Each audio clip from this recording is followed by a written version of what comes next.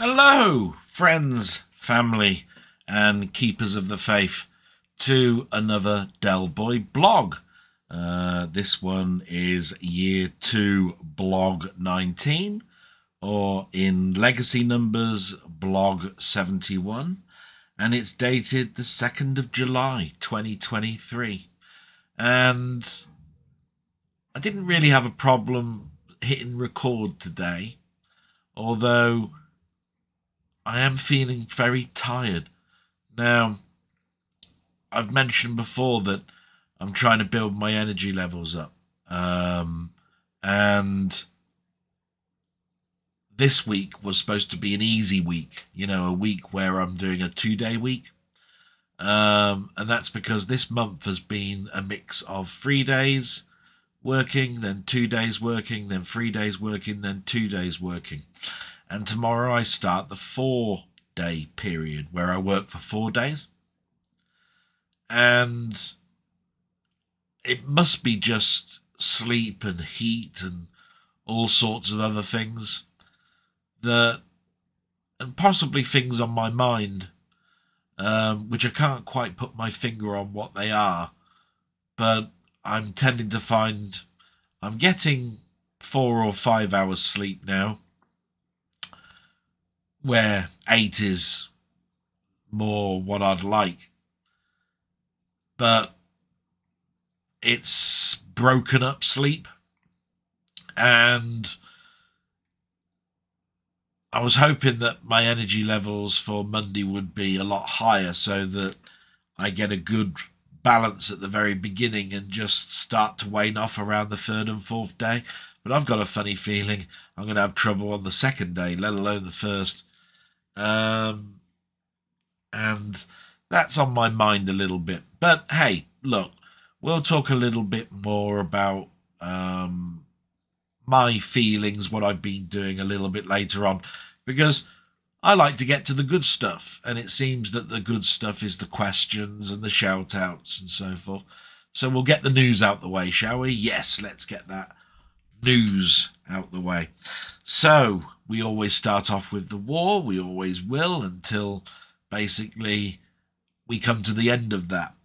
Um, I've got my chicken scratch uh, listed down here. So, what have I put? So, the war. Top US military officer, Army General Mark Milley, said he was unsurprised that progress in Ukraine's counteroffensive was slower than some pe- some people and computers might have predicted. This is going to take six, eight, ten weeks. It's going to be very difficult and very bloody. Ukraine's counteroffensive is hobbled by lack of adequate firepower. Yeah, um, I didn't read too much about the war this week. The I did uh, mention about this Wagner uh, civil unrest, which seemed to be New Hope. And that was at the beginning of the week and carried on for a few days. Uh, but then the attention moved to this counteroffensive that's been going on. And it seems very much that there seems to be a lack of resources, should we say. Um, I mean, at the very beginning, they said it was going to be very difficult, that it was um, going to be probably the hardest part of the war. Um, lots of casualties, that sort of thing, toing and froing. And they're complaining already about resources. Now, I do know that there's a, a lot of equipment that has been given a lot of training. Um, I didn't find it very clear whether what they meant by resources was the right type of tanks, the right type of aircraft, the right type of weapon, or whether it's general, we haven't got enough of anything. Um, but all I know is is that we want the war to end. Um, if that can end around a table, great. Um, and that's that's what I'm hoping for. And so we'll move on from the war. wishing them well. Um, our thoughts are with them. And move to another little article which was in the news this week. There's probably much bigger and greater articles around, but this one was about the sugar tax, so it interested me a little bit. Uh, iced coffee drinks sold by high street chains contain more sugar than a can of Coke, a study has found. The study showed that certain frappes and frappuccinos from Cafe Nero, Costa, and Starbucks command more than the adult's daily recommended allowance. Fizzy drinks have since 2018 been under a sugar tax, and campaigners state these cafe drinks should follow suit. Well, hell yes. Uh, about time. If you've got a sugar tax, and I remember it coming in, and I was going, bloody hell, that's put the price of those up. Then, and there is more sugar in in these coffee drinks, then they should follow suit. Um, especially if they make them in the shop themselves. I mean, I've always thought to myself, canned frappe drinks, you know, these coffee drinks that you get in cans, I think they already do fall into the sugar tax bracket. But um, I do know that they make these in store. They know exactly what's in them because I've I've, I've recognised that the coffee shops are quite good at basically telling you the ingredients of things, especially with nut allergies and so forth. So they they know what sugar is in these products, and just because you make it in there means that you should follow suit. If you know that you're always going to be putting two tablespoons of sugar into something, then you know it's as bad as the can that's ready made. So as far as I'm concerned, yeah, sugar tax them. It's a you got to have a fair battlefield. You can't get away with that. Um, now that might seem bad because nobody likes tax, but I'm also one of these people that thinks to myself, as much as I can control my destiny with what I buy, um, I'm not forever looking at labels.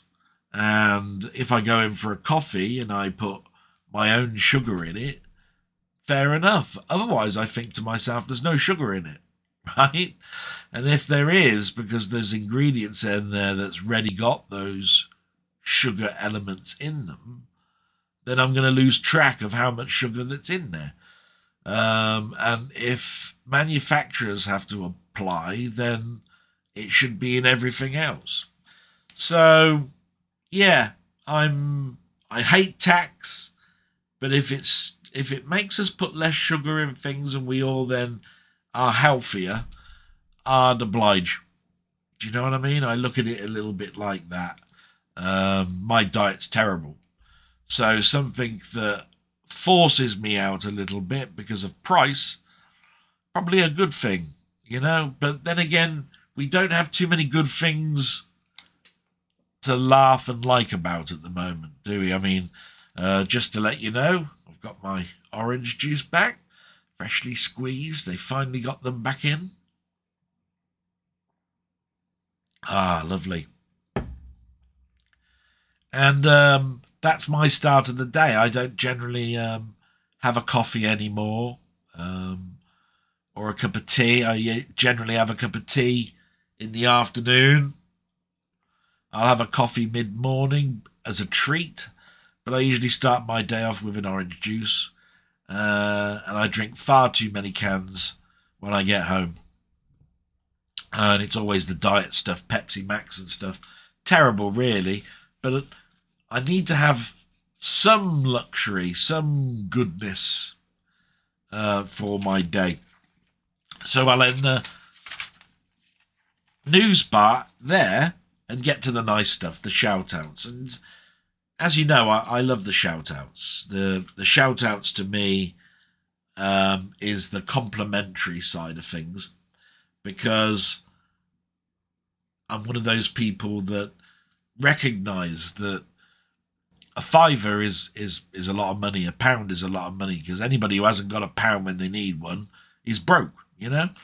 Um, but time is a commodity you can't pay back, and these people that I'm about to mention, and I hope I haven't missed anybody, have taken their time to go. Hey, I watched your blog, really liked it, and here's my little comment, and I might even have a question for you. So brilliant.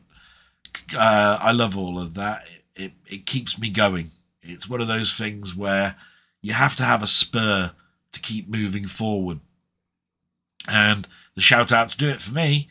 So, without further ado, the shout outs this week are Stevie Paperboy, Martroid, Roberts Retro Gaming, Colin Jones um, slash Ponder, Playtendo Guy, Seb's Place, Milfy Swinbuckle, Paul Patrick, LFC Gamer and Vlogs, Down the Rabbit Hole, Steve's Gaming, Denny, David's Retro Games Played Badly, Charlie Angel, and Cauldron of Stardust.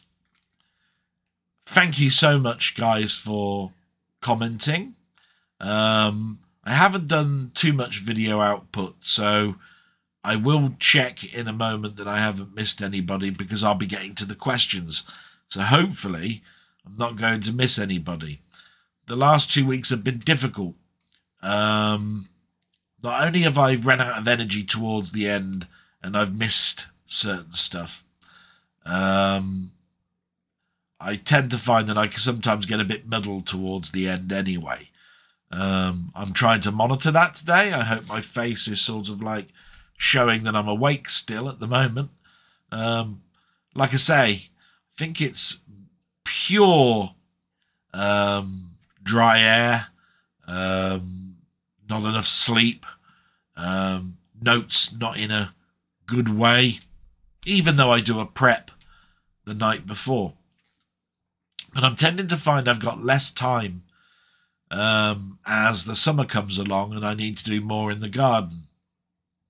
But we'll talk about more stuff that I've done for myself and for you guys towards the end of the blog. Um, but I have to make an apology to Doug Scullery because he said for the last couple of weeks I've missed his questions out. Um, so I put a reminder of myself here, and I even missed my mate Denny last week, and he had a big topic which I'm going to touch upon. So I'm going to just change my view now a little bit. Hopefully, I'm not going to damage anything with uh, how I've got things laid out. And go to a couple of where I think these questions are. And look for Doug. So just bear with me a moment. So there's that one and the comments. And we'll look for Doug. There's Doug at the bottom there. And it's got, and this is from a, a walking video from two weeks ago. And it says, uh, Great walkie talkie Del, keep them coming. Del's Retro Ramble might be a name. Yes. we'll have to sort of do a poll one day, I think, of uh, some of the some of the sort of like names I give things because really, I've already mentioned that I love doing my uh, arcade years, my eight bit years, um, and you know that once I get going with that, I'll be turning to 16 bit years, and there will be console years. There might be a PC years, but that fits at the moment under random gameplay and streams. So we'll see with that because I do buy an awful lot of Steam stuff and I do like to highlight a game or two uh, that I've recently bought. You know, because they're so cheap these days, you can get them through Fanatical and Humble Bundle and all sorts of charity bits where you can buy 10 games for literally pence. Uh, but I digress a little bit. Um, he's put here, Doug, if possible, maybe look into fixing the clunk clunk noise as you walk. I think it's your selfie stick. In fact, Doug, yes, I've mentioned it actually in the video itself. I said that I haven't got a selfie stick. I've got a sort of like um, tripod in case I wanted to stop and pull, pull the legs out and do a little panning thing. Um, and the walking video just came about really because um, I kept talking about my walks. That's number one. And two, it was a bit different. And three, Mamemeister, my mate, did did a couple in a field, and they seemed to be well liked. Um, it was nice to see his ugly, I mean, uh, his face with fields behind him. that wasn't a slip in the tongue. um, so I thought to myself, I keep talking about my walk, and I do a walk every day, and some people, I'm pretty sure, are going, the size of you doing a five mile walk. Don't believe it. And it was important to me that at some point I did my walk, not for you guys really. It was more to do with showing my nephew and niece who this is what it's really aimed at, this blog. Uh, some of the areas I go down, and it might also bring a memory back to them on where they used to walk and ride their bikes because we all live in the same district. So that was the reason for that. But you've got here uh, something that says topic for next blog. What were the reasons for the failure of 3D TV in Britain? And would you agree with my assertion that it could never achieve mass adoption unless made possible with no extra gizmos required? No specs, no headsets, nothing. You simply sit in front of telly as normal. Yes, the 3D the debate what can I say about it? You you are now you've mentioned 3D TV in Britain, and Britain is not the highest commodity um, for this subject because 3D died because of the two other biggest areas, which is China and Japan and America. Now, those have got much bigger population, and TV had reached high definition. And the cinemas needed something to push people back in, something closer to the action. They'd already dabbled in 3D many times in the cinema. Um, I remember going in and putting those red and uh, blue glasses on to watch um, House of Wax with Vincent Price and a number of other attempts. Jaws 3D comes to mind. Um, and with the release of Avatar, um, and James Cameron adopting that, it seemed to open the floodgates. And what you have to understand here is is that cinema were battling theatres and TV, and they have done for a long time. So of course TV had to fight back by saying, if you start releasing your media in 3D in cinemas and we don't have a product that you can display that at home, we've lost something. So 3D TV started to make an appearance. And I think calling it a failure is a hardship, really. It was pushing the technology envelope quickly where the technology just isn't there. The one thing and I've mentioned this to Mamemeister in a number of waffles and a number of chats, is that we're a lazy bunch of gits. And I have to say that because we don't want to sit, we don't want to do anything other than put a disc in, and even that is a hassle. Put the telly on, switch it on, and watch.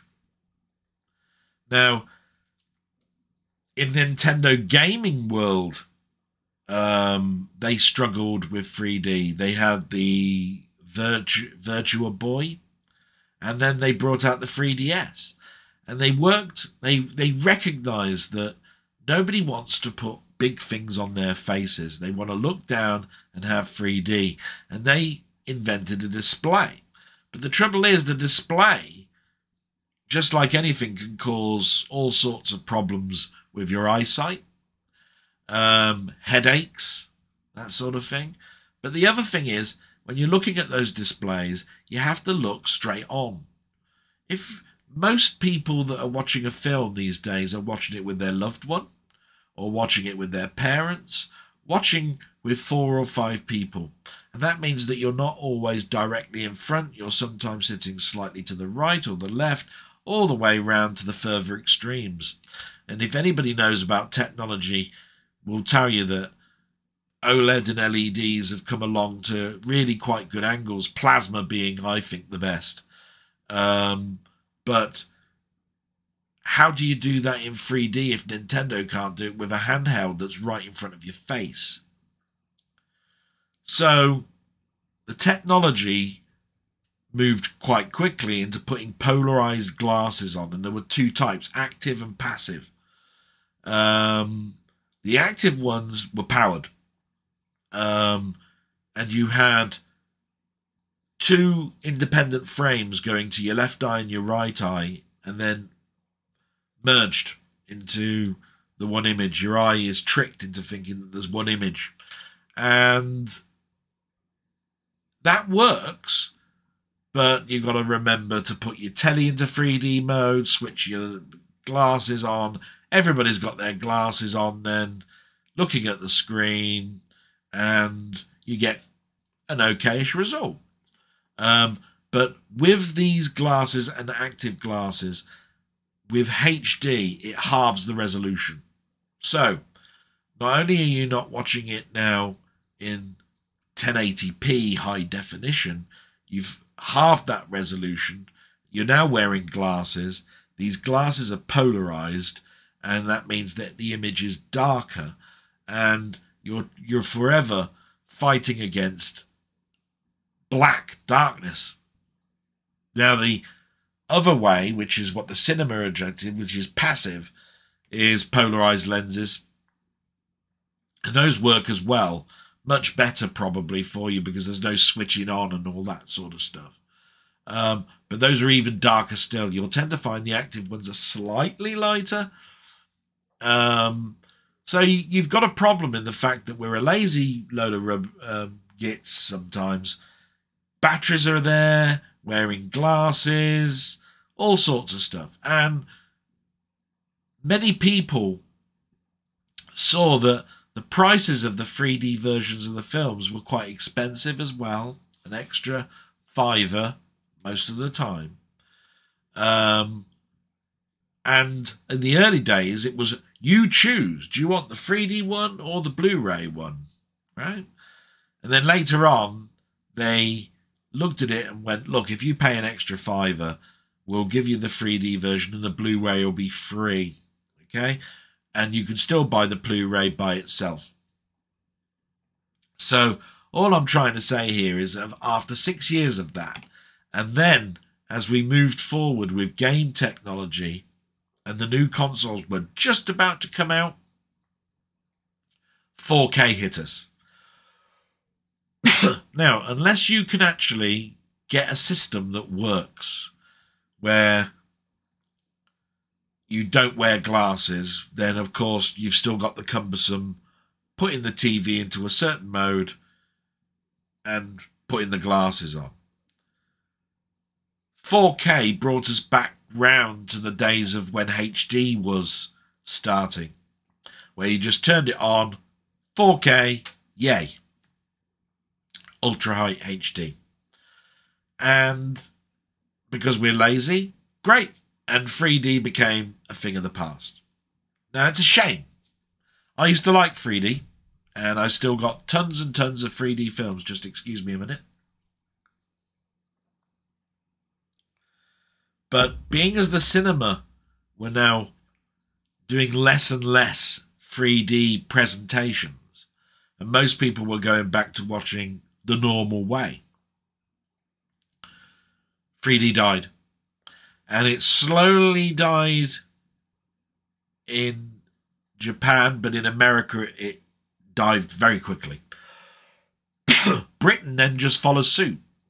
So, as 4K came out, and because 4K uh, is something that's not adaptive in 3D technology, they took the 3D part out of the TVs, and we move forward now with mixes and matches of OLED and LED, uh, LCD, um, and I think even plasma now is very difficult to get TV wise. Haven't really looked at that for a while. But you have to look at it from this point of view. It was it was not a gimmick. It definitely was supposed to bring you closer to being in the screen and it did its job. But the technology was brought in very, very quickly and they didn't work on putting the revenue that the extra cash for buying physical media and the income coming from the cinema into developing that technology even more, which is why it's such a slow process of increased gain on VR. Same thing.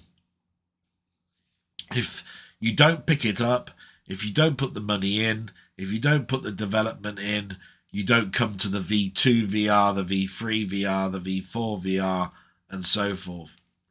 Um, so, um, we are always at a crossroads when it comes to technology. We'll see how that goes. But uh, I'm glad I answered that question for you. Now, you said that there were two. So, excuse me again while I look for my next walking one. I'll see if I can find you in there, Doug. Yep, found you. You said, nice one, Del. Love these. Always looking forward to a new one appearing. That's the walking videos. Yeah, thank you. Questions for Sunday's blog. Now, I will say this, Doug. If it's possible, put the question for the blog in the blog so I don't have to keep missing it.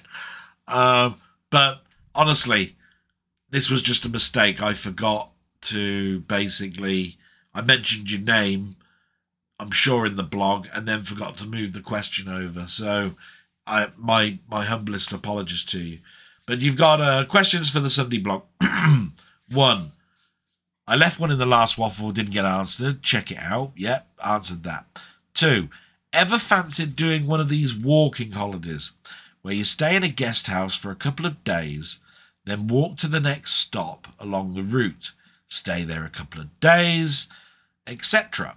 I've heard they can be great, especially along a nice coastal route, say Cornwall, for example. Now, I will answer that, and at the moment the answer is no, but it's also a yes. I thought about those for a long time, and in fact, they're very much a walking version of driving holidays, which I did a lot in the States. I would drive to a particular place, book into a cheap motel, do an awful lot of walking, go to my next step of my driving holiday after spending a couple of days, and rinse and repeat. And those were great because I was by myself and my mother and father were both around. And with my father, you know, now left us, my mother needs to be involved and she couldn't do the walking. So I tend to find that I'm looking at holidays at the moment to take my mother on because she hasn't been on one for a while. And my dad used to take her on coach holidays, you know, where they'd go to Prestatyn or they'd go to Bournemouth or they'd go to Blackpool and then spend a couple of days, go out for some meals, go along for a walk, take in the beach, have a chip supper, that sort of thing. That somebody in their like 50th wedding anniversary would do. S- move on six years, and my mother is now in her 80s. And it's difficult for her to even walk in the garden. Um, she keeps threatening that she's going to learn to drive to get her out of the house. She keeps threatening that she's going to go to Sainsbury's because I won't buy her a bottle of wine every day all sorts of stuff like that. And I know that my mother would have to walk round the block four times just to be able to walk to our Sainsbury's, go to the first checkout, and then walk back. And the walk back would be a slight hill. So if my mother can't walk round the block four times, she can't walk to Sainsbury's. There's no way. But she's adamant, you don't get me my wine, I'm going to walk there and get it. so I'm sort of blackmailed in a fun way. Going back to your question, though, it's a lovely question. It's something I have thought about. It's something that I will do.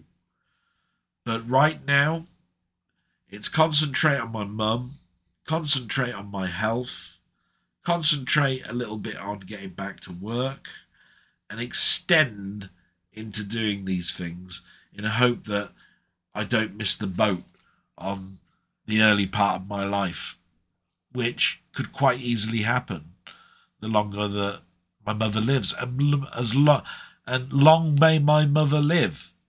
I don't care. If I do that in my sixties, great. Um, you know, and I miss my fifties. Um, it's a sacrifice and it's one I'm easy to take. But my mother couldn't take it. But I think she'd like the coach holiday idea, you know, take her, go to a hotel, have her sort of like waited on, go to a spa, have a massage or whatever, you know, that sort of thing. Do something a bit different out of the norm. So I'm looking into that.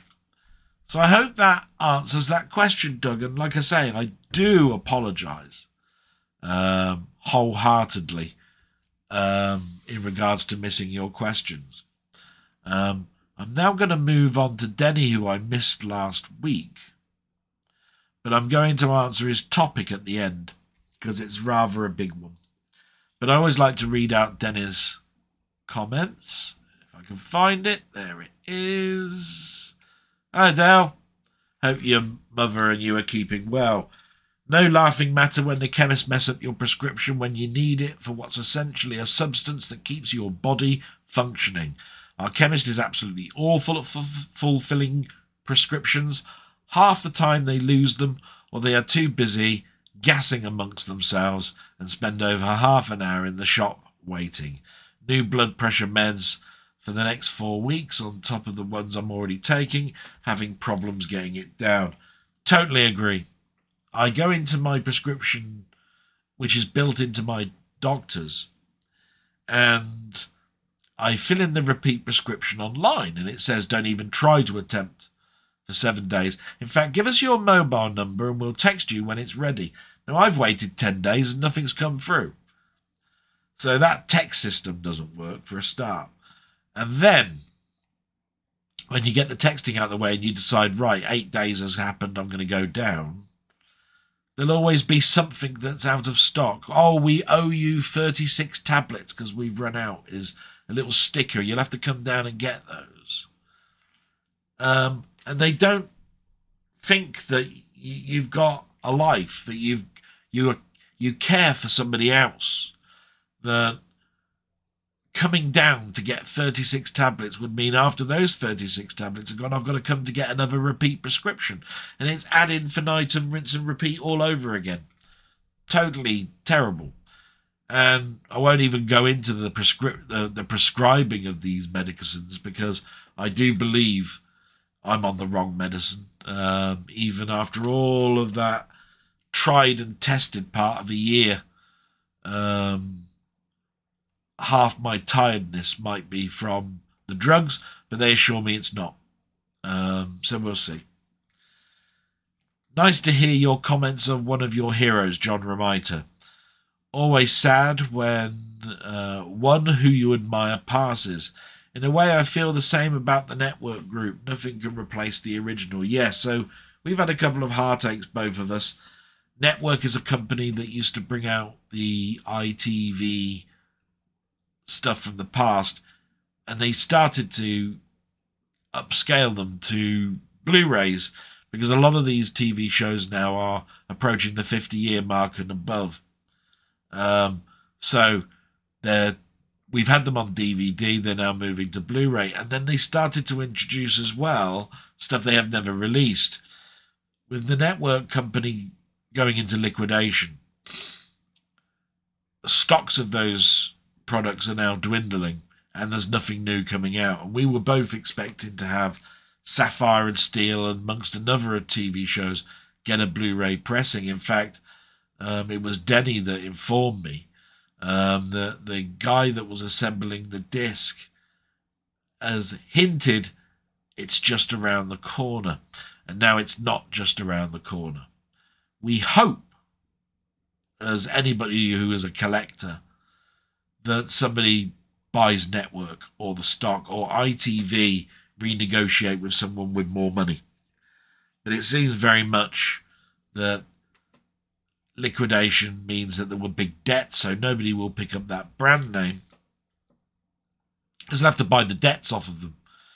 So yeah, difficulty. In my one, John Romita, I've said enough. Um, but every day, you know, I, I, I, in the last two weeks, I thought about John Romita, and it, as as the days go on, I think less and less. But uh, every time I pick up a comic, I'll be I'll be remembering John Romita, and that's a good thing because he left a legacy. And as a number of people have said to me, your mother is very wise with that word legacy because you can enjoy everything he ever did, and you've got it in your hands. So that's great. And I look at that, and that's my um, good point on that. Um, you meant you carry on. My favourite Blackadder has to be Series Two. The writing and flow of the production was fantastic. Tom Baker's "You Have a Woman's Hand." You, I thought you were going to put bottom there. Lots of that. As for the end of Blackadder Series Four, for me it had a Blake Seven style ending, one nobody could forget. Yes, um, this was a time where that question was coming out, where Blackadder's 40th anniversary had come up, and they found the lost pilot. And Gold has, has done a little documentary and broadcast for the first time the lost pilot. And it started a whole what series is the best series the first one, the second one, the third one, and the fourth one. And I think it's commonly known that the second and the fourth ones were the best. But there's some people that will say fourth first, second, second, and other people will say second first, fourth, second. You know, like that. Um, I love them all. Don't get me wrong. Um, I do think the quality was slightly better in the fourth one, but then they'd been writing Blackadder for quite some time by that point, and of course the production values were always quite high anyway. And I think there's a lot of more people that would recognize World War One than they would Victorian, Elizabethan, sorry, should I say, England. Let me just take a sip. So I have to say, four and two for me, but I tell you what, it's darn close. Never really got on with the third one too much either. So, I hope I've got caught up now so we get to this week because we're 40 minutes in and I ain't started. So, that'll teach me, won't it? So, I'm changing now my view to um, the stuff this week. And I'm going to read them out in the order that I see there. There are no filters on. Hopefully, I'm not going to miss anything. And we get to Denny, funnily enough, right at the top. and he says, Hey, you mate, enjoyed our little chat again on Friday. Never short of a subject to talk about, are we? No, we're not. And I have to say, Denny did give me a call on Friday, as did Mamemeister, cheered me up no end. Um, I was having a bad couple of days. They wouldn't have known that. Um, and I chewed the cud with Denny for about two hours. Um, and I had a nice sort of, although brief, talk with Mamemeister. We got all of the stuff out of the way. What's going on with you? What's going on with me? Where are you going? Where am I going? What's happening this weekend? We got all that, you know, which is great. Because it's always nice to just out the blue, you know. Sleep apnea. Yes. Um, so you mentioned how you pronounce it. The thing about it was is that when I was pronouncing it, and this happens an awful lot, I will go off on a tangent and start bringing in something without thinking about do I know enough about the pronunciation of the subject I'm about to talk about. Yeah? Like, I don't usually write down the word phlegm, say. So when somebody mentions the word phlegm and they've done it in writing format, I go, oh, that's, what's that? Oh, right, I understand where you're talking about now. And when it came to my sleep problems, I sort of knew the word but couldn't sort of pronounce it at the time. It's one of those sort of things. Of course, it's apnea. But at the time, I wasn't prepared to even talk about it. It was just one of them tangent things. So do bear with me, guys, a little bit. Read between the lines sometimes a little bit. Um, the one thing I don't want to portray is me being thick. You know what I mean? I don't. I already have a low confidence about myself but I do know I'm intelligent. You know, I didn't get to where I. Been, oh, now I'm going to start like Reggie Perrin here. I didn't get to where I was today without, you know, knowing a few things.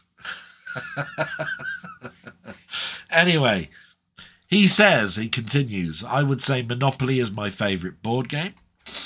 A news story from our area is The Black Panther made a phone call from one of the old red phone boxes just three streets from uh, uh, up from us. Wow. Yeah, that is news. Wow, Black Panther as well. Um, a shame about the actor that played him dying of cancer. Um, but hey, yeah.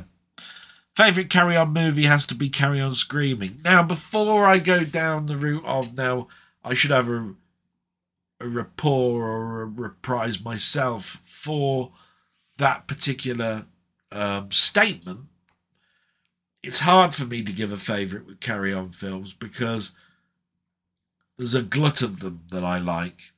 They're all good. There isn't one bad one until you get to what they call the distant cousin of the Carry On films, which is Carry On Columbus, which is awful. Don't get me wrong. But everybody has a favourite, and everybody will come up and say, you know, screaming, camping, um, cabby, Cleo, put carry on in front of all of these. Again, doctor, nurse, you know, spying, you know, so many. I mean, you, there's 20 of so what you have to understand here is is there's bits and bobs in all of them, but when it comes to the the the whole bulk of the film, there's 98% that I really love in this film. There's a couple of them. Screaming is one. Um, I hate to think really how Screaming would have turned out if Sid James had been available, because Harry Harry Corbett did such a great job but he was there because Sid James wasn't available. Um, Cabby is a black and white one, but you shouldn't knock a black and white film. It's the script that's great, and that one is brilliant. Um, I like things like uh, Carry On Camping, Carry On Dick, um, Different Reasons. Um, they got a little bit saucier towards the end. Probably too much in that direction. Too much insistence to show a nipple here and there on a woman. You know what I mean? You don't need that. The early days, it was just seeing the side boob was enough. You know, if we're talking sexist stuff here a little bit. Um, but it's seaside humour, you know? Um, there were times where um, the worm that turned occur. I remember that Barbara Windsor pulled down uh, Peter Butterworth's trousers in the um, in a lift in Carry On Loving, was it? No. Um, was the one by the seaside where there was a beauty contest going on. Oh, it'll come to me. But what I'm saying is, Barbara Windsor was a feisty character, somebody that wouldn't accept sexist stuff. She just knew what she wanted, went for it. Um, and that's unusual in a 70s uh, comedy. So, anyway, we'll move on from that. LFC came up uh, with a use of grammar that rubs you up the wrong way question. Not grammar, but I hate the way we spell centre. It should be center. Oh, so I can't really show this centre. Probably watching Journey to the Centre of the Earth too many times. Yeah, it's the way we spell things that's awkward. I think for our American cousins, you know, with colour being a perfect example with ours having OUR and theirs having OR and all sorts of stuff. But we naturally want to spell it a certain way because of the way that we pronounce it, you know? So, yeah, to totally understand that. Um, like yourself, I'm enjoying Seb's 8 bit battle. Robocop, great little series of videos. And yes, it's nice. I think this this this sort of like um, reaffirms what I'm trying to do, which is I'll mention what I've been branching out and watching on YouTube in a hope that maybe you'll then watch those and maybe there'll be something in there that you like. Now, I came across Seb's channel a couple of weeks ago, didn't know quite what to make of it at first. He came, a, there was a video that came out of his where he was doing a battle which I then brought to your attention. Uh, but the subsequent videos, more in agreements with. And Denny saw this, went to see something that I did, liked it, and basically is now watching that more often. And that's how our channels grow. Um, so I'm finding it harder sometimes to find newer stuff to watch because I'm watching more of your guys' output, and that takes up quite a bit of time. And then with the telly stuff that I need to watch as well, because I do need to watch something that's high end. Um, I don't have the time, you know, to, to suddenly branch out and look a bit more. But as long as YouTube keeps saying, we think you might like this, and as much as I, I'm always researching, so I'm typing in things. I will come across the odd gem. And when I come across the odd gem, I'll mention it and it'll be with you guys. Um, now, the one thing that I'm going to mention last for in Denny's comments is just because he's recommended a TV show several weeks now. I've read it out. I haven't got round to watching it myself. And he likes it so much that he mentions it every week. So I'm going to mention it again, and I will get round to watching it. He says, This week on Tenny, Telly, I finished watching Silo on Apple TV. This has to be the best new series for sci fi fans. Great ending on episode 10. Guys, it's a must watch. So I've mentioned it again, Denny. I will write this down I will at the end of this blog write things down and I will get to that. And thank you so much for bringing things like that to my attention and the and the fact that you like the collector's demonstration of my movie and comic collection. Um, because again, we all use different programs. We all use different methods to do things that we do as a similar thing in our hobby. And if I can say, look, I'm not an endorser of this, but this is what I use, and I've used it for 10 plus years, that's got to be something that says, well, if it, he does it that way, it must be good. And then you can reciprocate by saying, I use this. Have you tried this? And I then learn something new. And then we all have an opinion about something because we've tried both ways and we can choose the one on whether we stick with what we know or we move on to something new. So please, if you've got a piece of software that you use, if there's a piece of hardware that you use, if there's something, a website where you think this I think I should mention to you because I think you'll get major enjoyment out of it or if you do it this way it's easier please do so. That's that's what all that we've ever wanted is we don't want people to go I know something that you don't and I'm going to keep it to myself because it's what keeps me ahead of the game because we've had that in people at work and you're only as strong as the weakest member of your team. And therefore, if you think you're making yourself recession proof by keeping knowledge, you're doing everybody a disservice. Tell us. Tell us how it works. Give us that knowledge, right? And it's the same with just in a friendly way telling us how you maintain your hobby. So we move on and we get to Steve's Gaming. We love Steve. There's my salute to you, Steve. Yeah. Though, love Steve to death. You know, he's one of my um, favourite people I chat to. Um, and we have a lot in common. And um, we started sort of at the same time doing blogs and our channels. Um, and rightfully, he moved on much faster pace than me. I'm always the turtle of compared to the hare, but it's no, it's neither here nor there on that. Um, he he says, um, doubt good one. Um, thanks for answering my question, and I have a new one for you.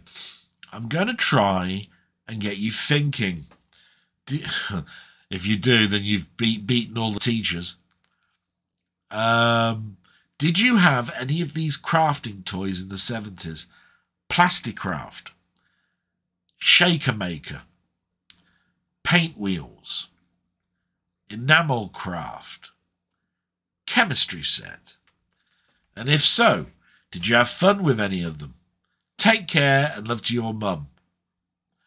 Oh, and by the way, my fave carry on film are Regardless, Cabby, Cruising, and Convenience. Sid James is great in all four. Yeah, it's great. Everybody has an opinion on Carry On. Thank you so much for telling me about yours. Uh, Cabby, what a film. Um, so underrated. Um, anyway, you have a crafting question for me. And it's funny, I was thinking about this the other day when I just quickly looked at it. And I went, why does Shaker Maker ring a bell with me? And I think I remember rightly, it was one of those ones where you had a canister that was in two parts. You put the ingredients in, you locked it tight, and then you shook it. And then you left it to settle, like some sort of like plaster of Paris thing. Then you unhook the two halves, and you'd have your plus, you know, you'd have your shaker maker model all done. I'm pretty sure that's Shaker Maker. Uh, plastic enamel enamel craft my sister had. She definitely had these badges where you used enamel paint and you put it in and it gave you a sort of like a 3D badge or made out of enamel paint. She did things like beetle brooches and things. I remember that. I had many chemistry sets you know, like uh, I had things like the 3D human body and chemistry sets where I had little test tubes and a. But it, they always wanted a Bunsen burner of some sort. Mother wasn't very happy with that, but we had a gas stove. Um, but it was always what happens if you mix these two chemicals together. Oh, and by the way, make sure you've got plenty of cloth around when you mix these two together. You just went, oh, right. This is going to foam up, then, is it? Um, even at an early age, I knew that sort of thing was going to go on. But I've talked about my sort of like crafting background before. And I was always into the Airfix kits, you know, building the Eagle, building the um, tanks and boats because of the pictures that they always had them by Airfix, Airfix kits. I then later moved on to Marvel kits beyond the plastic ones and turned into resin. And I started to cut resin away and glue them together and paint them and shade them. Um, they were lovely but very expensive. Um, next tier of crafting that was. But back in the day, it was everything, wasn't it? We had etch a sketch. Try drawing with two two paddles that turned it up x and y axes, uh, just because it had sand and a magnet. People that drew stuff in there, I just don't know how they did it. They got ma- masses of patience, massives of of creativity. I couldn't do anything more than a gun with it. Um, etch a sketch.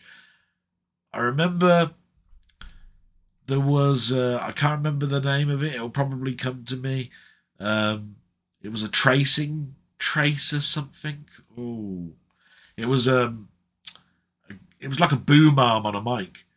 Um, an elongated piece of plastic with a tracer pen at one side and a pen at the other, and you got your comic and you trace the outline, and the pen the other end would draw it for you exactly as you were tracing, and he'd do it. And if you changed the apex of the where the brackets were, you could enlarge it even. Um, so you learned a little bit about maths with that thing as well. Um, oh, what was it called? Trace.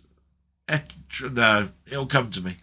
You'll know it instantly, and I'm pretty sure you'll put it down just to prove that you know more than me. You get. Uh, no, I'm I'm pretty sure I've explained it very well. And then I had spirograph. I think we all had spirograph. Put the little pins and the pieces of plastic cogs. Get a smaller cog with holes in, um, and put your pen in and, and reel the cog around, round and round and round it would go, and you'd have a lovely um, spiralating pattern that you could build that could be the building blocks of something that you were going to draw. Pins would move though, wouldn't they? Bastard thing. Um, I think we all had that spirograph. So I'm going to end it there by saying I don't remember all of the things you said. Paint wheels, no. Um, and I think I had plastic craft, but I was more into the Play-Doh,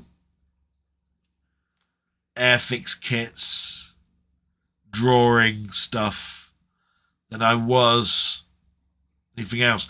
But the biggest one that I was into after Airfix kits, so it's the second one, was Plaster of Paris molds, where I would you'd buy a box set of molds that had your favorite characters like Marvel characters or DC characters or film characters or cartoon characters.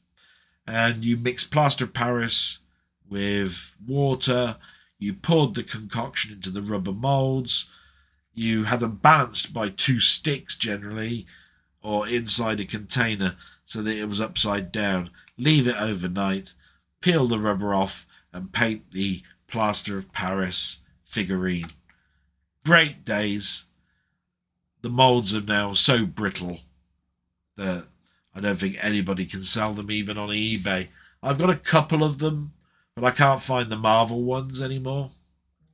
The closest thing you'll get now is jelly molds or um, cake molds of Spider-Man stuff. You will not find a plaster of Paris mold of Spider-Man that I can find anyway. And I it's been a while since I looked, but I'm pretty sure I'm right with that. And I hope that's answered your question. My salute to you, sir. Thank you so much. Then we got Playtendo guy who um, I watch his channel of. He's got, hey, another quality blog, mate. Hope you're well. So just a nice little comment from him. Thank you so much, Playtendo guy. Um, love your stuff. Um, I do like the movie talks. It gets me thinking about some of the TV and films I've watched over the years. Uh, I hope you get enjoyment of my later part of my blogs where I do not an unboxing, but I show bits of what I bought this week. Um, I can only imagine that's probably the bit that you'll concentrate on on my blog. But uh, thanks anyway for being here. Then we got Seb, who we talked about earlier.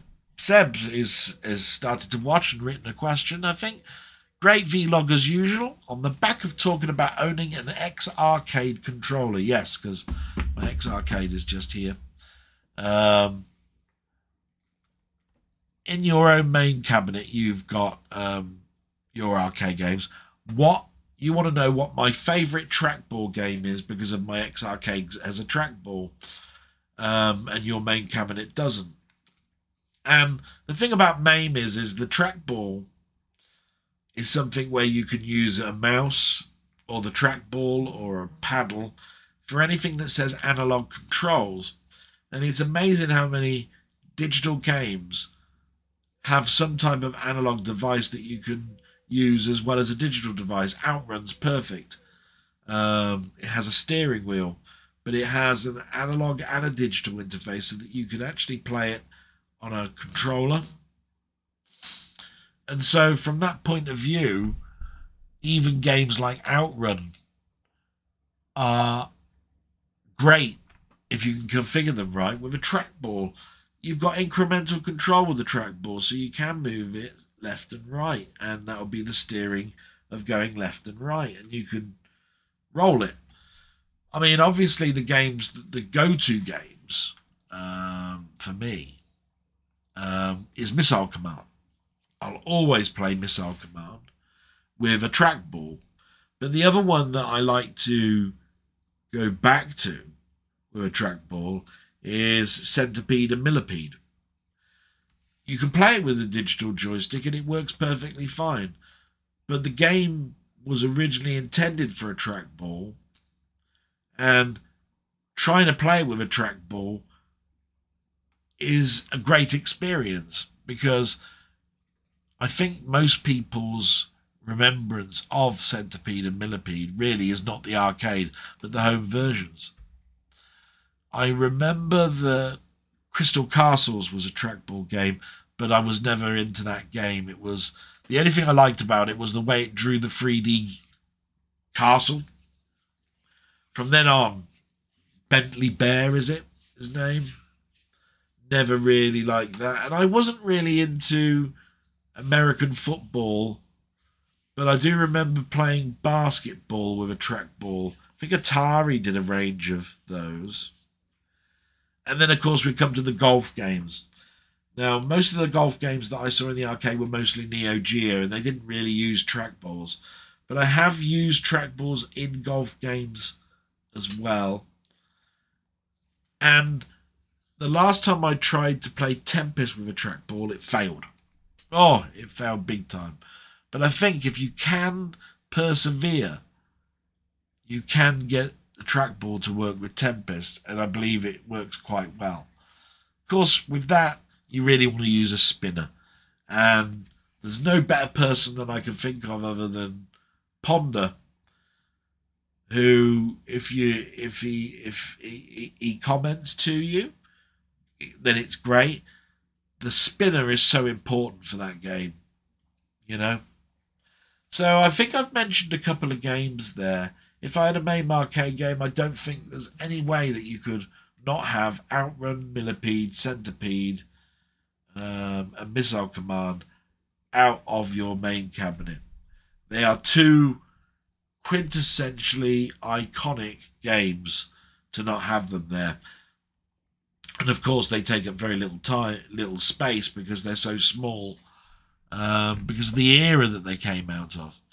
But I think I've mentioned enough there. I think there's probably a couple of others. I think there's some dart games that worked with a trackball, bowling games, definitely.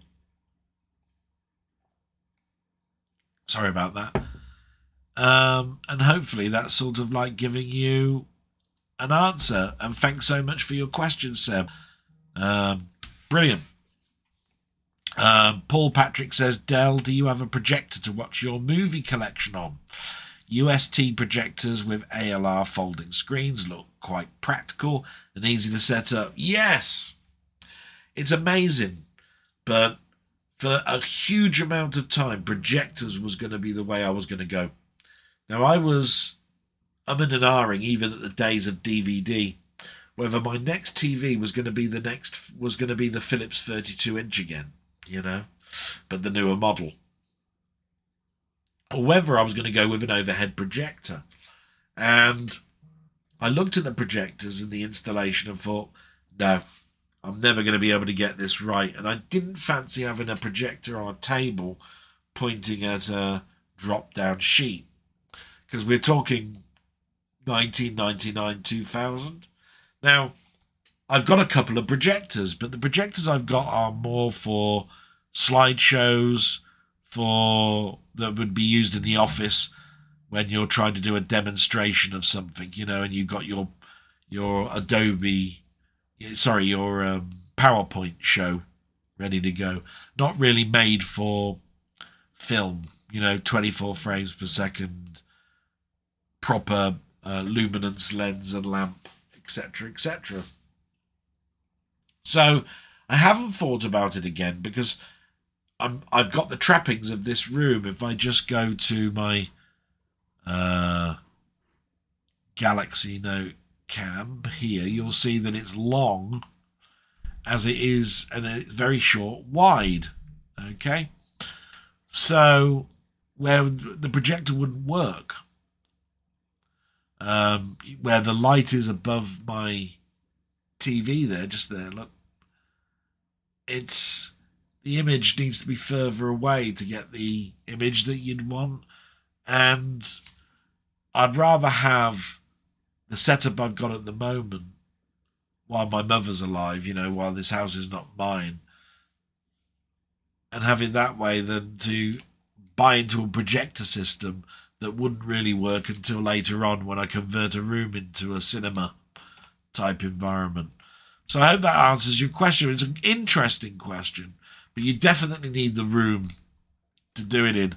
And projectors are now so lovely. There are 4K projectors, HD projectors, um, and they can be as small as you want as well. Um, the only thing you have to worry about is the bulb at the end of the day, and those are easy to um, replace. So yeah, definitely something I think other people should think about. We'll, go back now to the camera view and move on. Thank you very much for your question, Paul. Milfy, oh, here we go. The questions that sometimes I dread, but hey, maybe I won't this time. We'll have a look. Um, questions for your next bloggers. Milfy is brilliant. Thank you, Milfy. You know you've got my eternal thanks. With people wanting new sports put into the Olympics and such, talk of snooker and darts and golf, etc. Why not add video games? So, my question this week comes in two parts. Firstly, would you like to see video games in the Olympics? And secondly, if you had to pick the games for the competition, which, say, three or more games would you pick?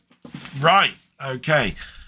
I am actually quite strong minded in this instance, and I think it would be a terrible idea to have video games in the Olympics. Call me an old fuddy duddy. You're an old fuddy duddy. Um, but the Olympics was supposed to be a show of skill and strength, endurance, determination. And where video games have parts of those things, it doesn't have them all. Okay? In my opinion. Always remember, in my opinion. We do have video game events, and those work quite well, and they're money or- orientated. Okay? And they work with first person shooters and generally real time strategy games. Okay. But the reason I don't think I want them at the Olympics is pretty much like I've just said. I always consider the Olympics to be like the open day at school where you had the school sports day where all the kiddies would be doing the 200, the 400, the 100 meters, chucking the javelin, the shot put, the long jump, the high jump. A skill with a bit of energy about it. Yeah. Having the Olympics with decathlon in, where the only thing you're doing is waggling a joystick or getting the right angle because you press the button, has part of those things, but not all. You see what I'm getting at? And sometimes you got to remember that you'd have to you'd have to look at the code to make it equal. Um, there will be a sweet spot in the game, say 35 degrees at the angle. All all you're asking there for an Olympic champion to do is to be able to, at the same time as waggle something, hit a button at a certain length of time to get the 35 angle. Now, if both of you are sort of like quite neck and neck with your competency in this, you could be there for five days. Every time running up, getting the 35. How boring would that be to watch? And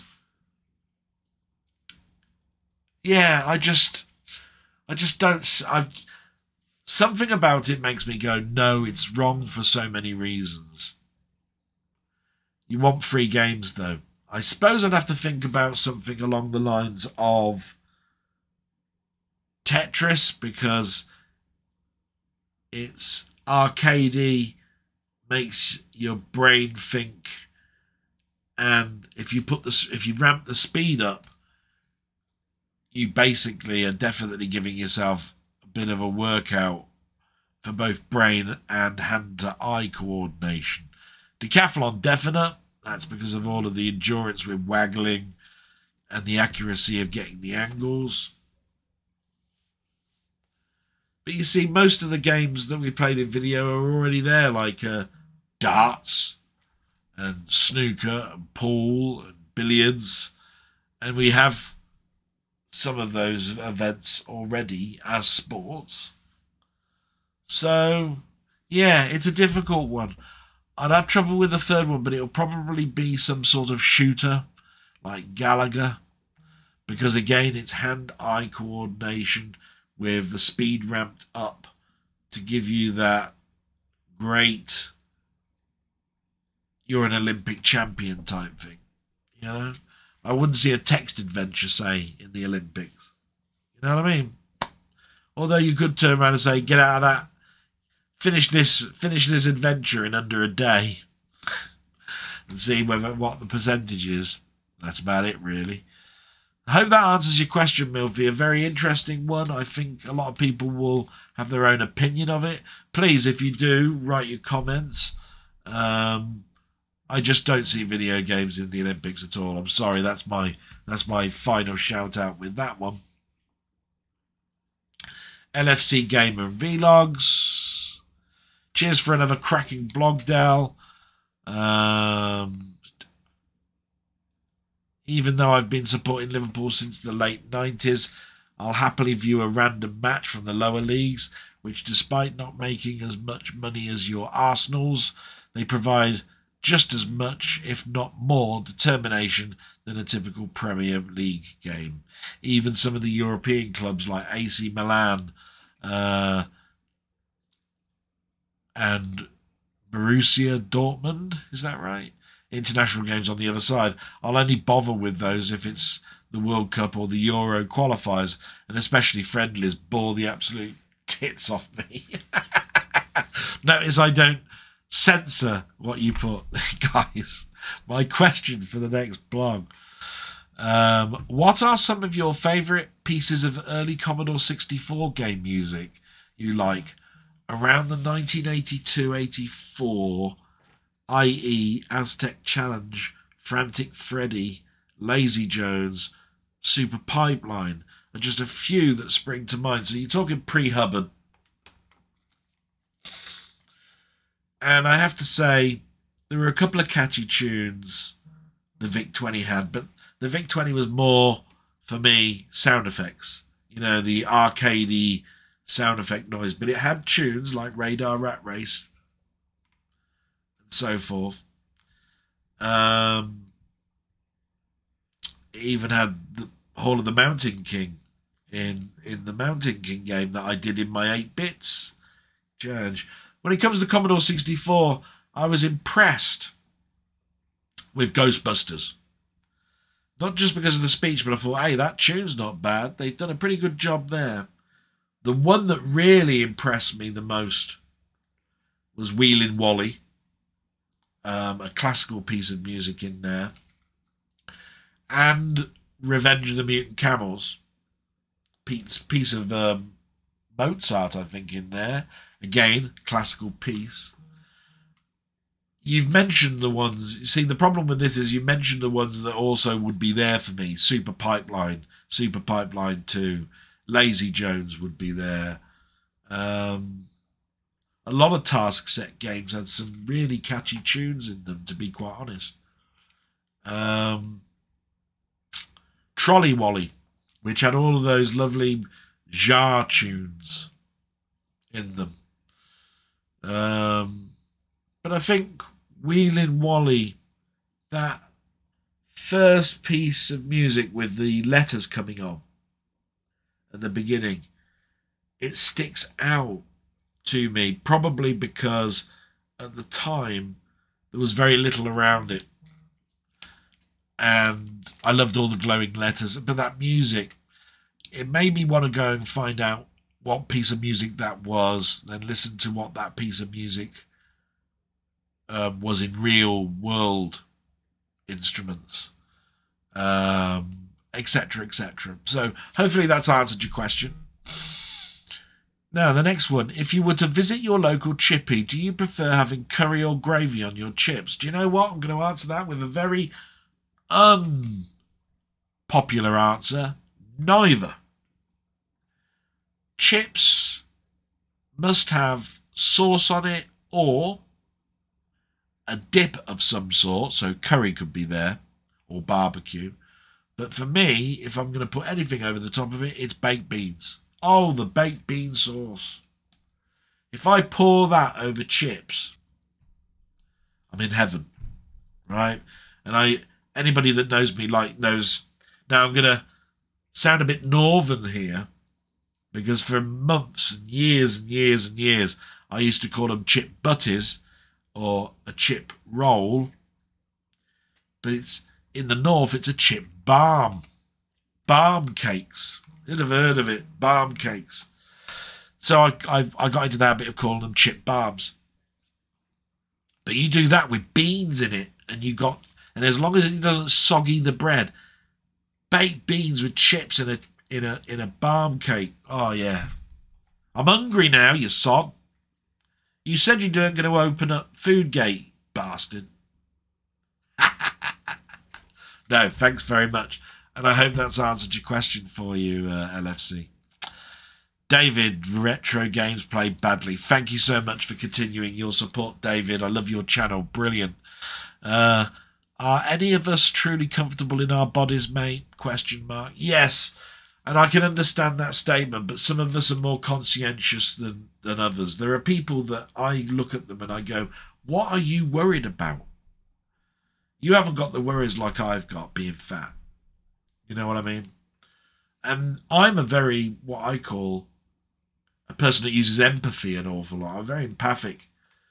So I recognize when somebody says, oh, my nose looks crooked or it looks like it's been punched in the face 50 million times, etc. Or I'm too short or, you know, whatever.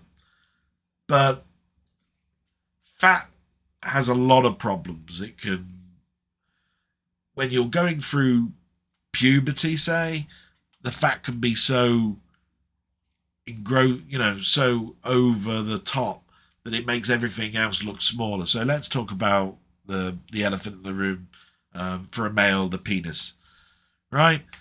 If you're fat, makes it look smaller. What does the one thing that a bloke turns around and turns around and say is very conscientious about? How big your dick is, right? So, I was picked on at school overweight. My dick is normal size, but because of um, flab and fat around it, which basically raises the skin out and therefore takes an inch or so away, hey, the presto, you got a small dick. So you not only have you got a problem with your weight, you got a, somebody turning around and saying, you know, man either. And women have had this all the time. I've heard lots of conversations saying, its size doesn't matter, but women have always turned around and had problems with their boobs or whether their private parts are too big, too small, stick out, whatever. You don't need that in your life. So when somebody is the right height, six foot, five, five eleven, right, six foot, um, black hair, no problem with their facial features, the right body weight, but not chiseled. You got to turn around and go, you don't know what a problem is. Do you see what I'm getting at? Your teeth can be corrected. All sorts of things can be corrected, right? But it's very difficult with fat because of comfort eating. You go away, you feel worse about yourself. What's the first thing you do? You go home, eat a piece of cake or a sandwich or something that's fatty or a packet of crisp. Back then, when you were a child, now less so. But what I'm trying to get at is, is there are times of boredom that you eat because of boredom. I the the one thing a, a dietitian said to me once is it takes 25, 20 to 30 minutes for your brain to recognize you've eaten something. So chew your dinner as much as possible.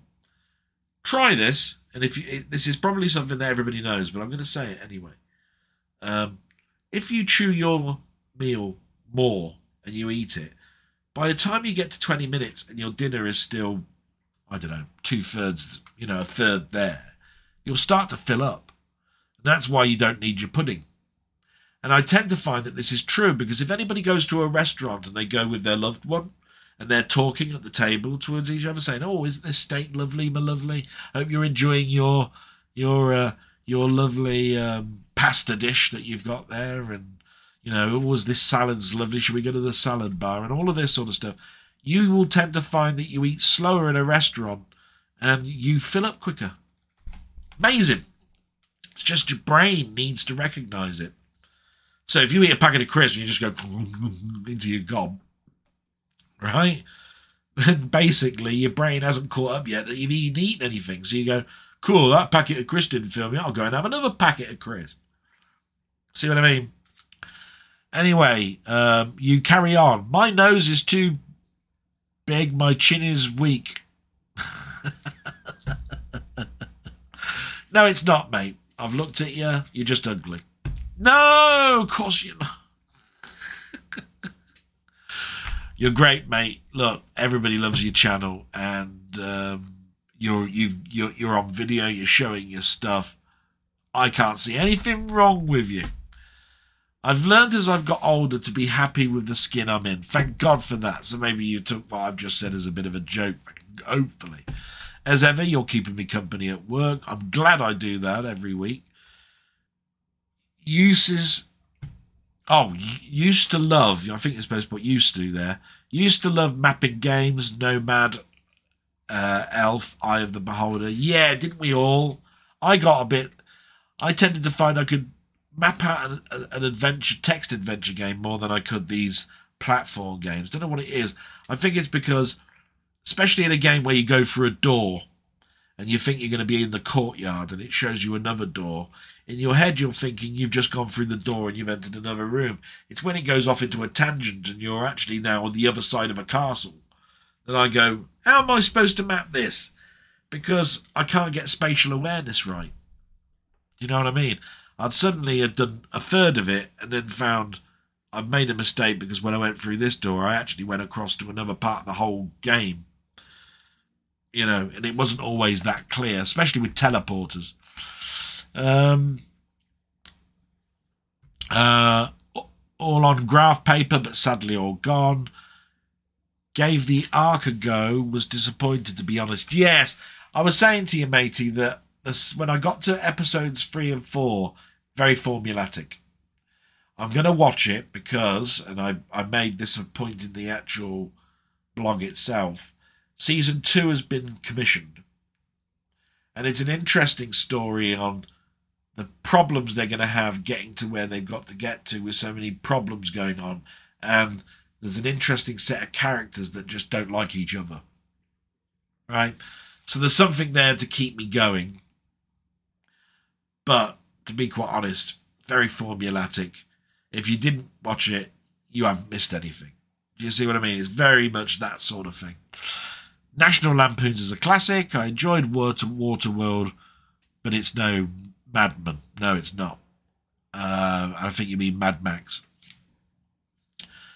Thanks for the company, mate. No, my pleasure, matey. It's absolutely a pleasure speaking to you in this way. I hope at some point we're all going to meet.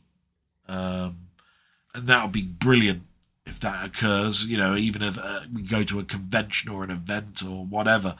Brilliant. Thanks very much, matey. Then we come to my salute to you. Come to Colin Jones, Ponder. Um, so he carries on with something where, yes, I know that my knowledge is not that great on this, but it's the sub that that basically imploded wasn't actually expensive for the purpose. That was the issue. They took so many shortcuts, it's criminal. There are quite a few engineering videos on the topic, so I won't go into detail, but the management of this submersible had me infuriated. Yes, and I feel the same way, matey. Um, deaths are terrible, but um, if you've got a substandard craft that you're taking people in every day, then you know I you, you should be banned. What I'm trying to get to. Um, I do publish a schedule for Twitch, but YouTube uploads tend to happen when they happen. The only exception is I do try to get my vlog out on a Monday uh, of my long weekends. Yes, and I love those, matey. Um, and I do understand. This came about because I was saying that I'm getting later and later YouTube alerts, but Twitch I get hardly any. And even though I'm subscribed and I've hit the alert me when something's going on, if I miss something in Discord, then I've missed the whole caboodle. So I would say YouTube is fairer than Twitch, but that's just my opinion based on my experience. Other people's will be different. Um, I miss simple TV guides these days. They're small print indexes. Yes, we were talking about the fact that your electronic guide on your TV is there, but at the end of the day, not particularly uh, great. And I used to love looking at the radio times and TV times. Thanks very much, Colin. Down the rabbit hole, I was overjoyed to hear Putin uh, considers the Wagner rebellion as a stab in the back. With luck, dictators like him might learn uh, war is useless and can backfire. Totally agree with you, matey, here. I was saying out loud one of my favourite board games was Mousetrap until you said how much you disliked it. So I bit my tongue. Um, actually, it's really just assembling the whole apparatus that I enjoy. Never really played the game myself. Did you know that there's a mini version of Mousetrap? Search Gen X Grown Up because he's played it. I did know that there was a mini Mousetrap. The reason I didn't like Mousetrap was it was Tin Pot. There was always that bit where I was trying to assemble it and that cage, which was supposed to go down the little teeth, and judder, it would happen without me uh, even touching the plastic.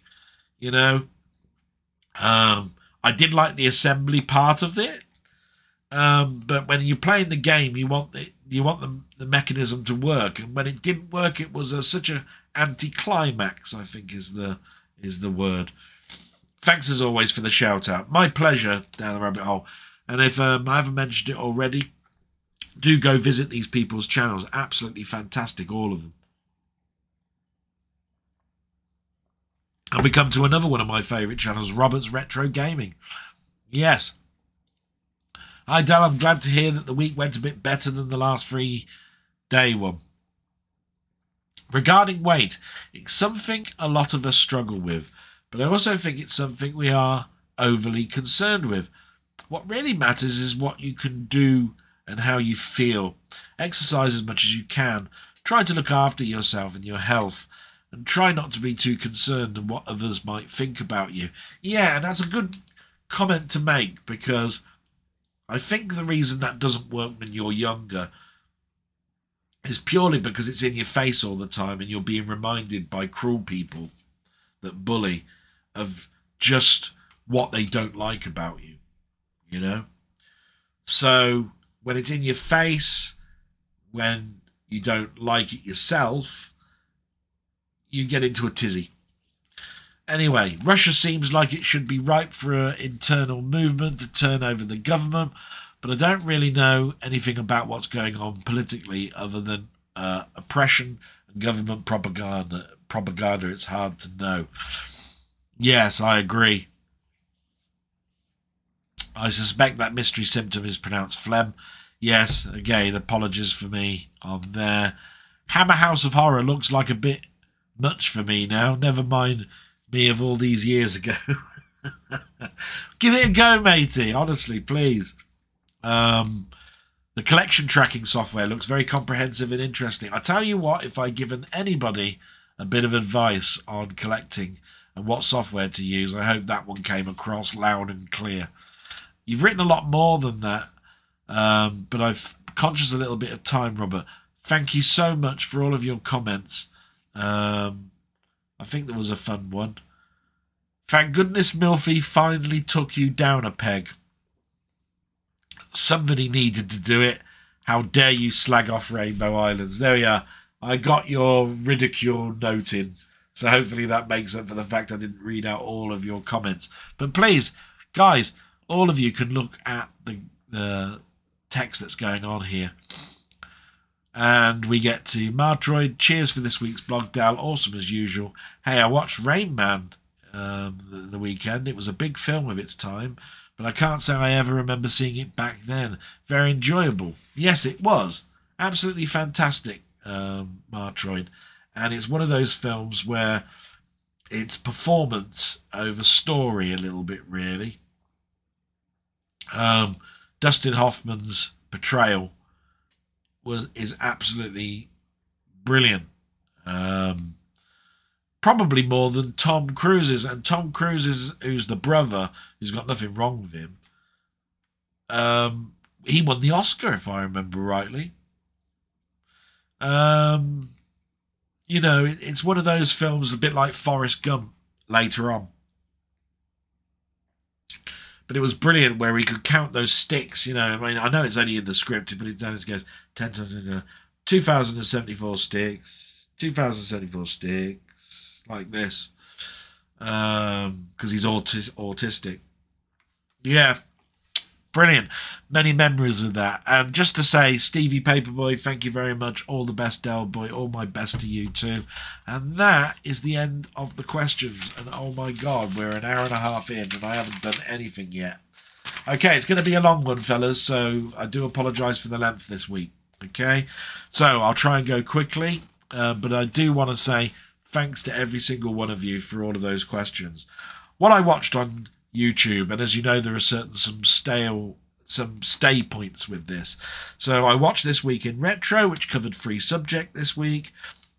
Uh, a truck converted into a dot matrix printer. That was quite fun. Basically, it'd probably be good for street writing on, um, but it was just a um, anomaly topic. Uh, the ultimate Easter egg. It's always nice that people cover Easter eggs because even now I'm having difficulty thinking what was the first Easter egg I saw or read about. Because most people will say adventure, but I'm just wondering how many people actually discovered that at the time. And are actually thinking that they did discover it when actually they discovered it much later on than they remember.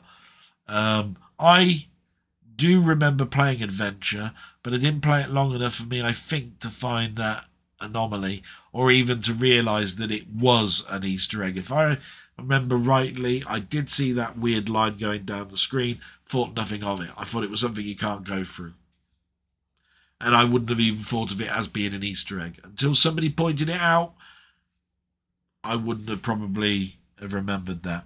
And then the last part of this week in retro was the Apple II controlled Lego V8 engine, which is great, nice. Um, I think we've all done something at school in computer class where you control the drawing of a droid that's got a pen in it using logo or some language. Um, this one was controlling the internal combustion pistons of a Lego built V8 engine and having the Apple II control the timing. Great.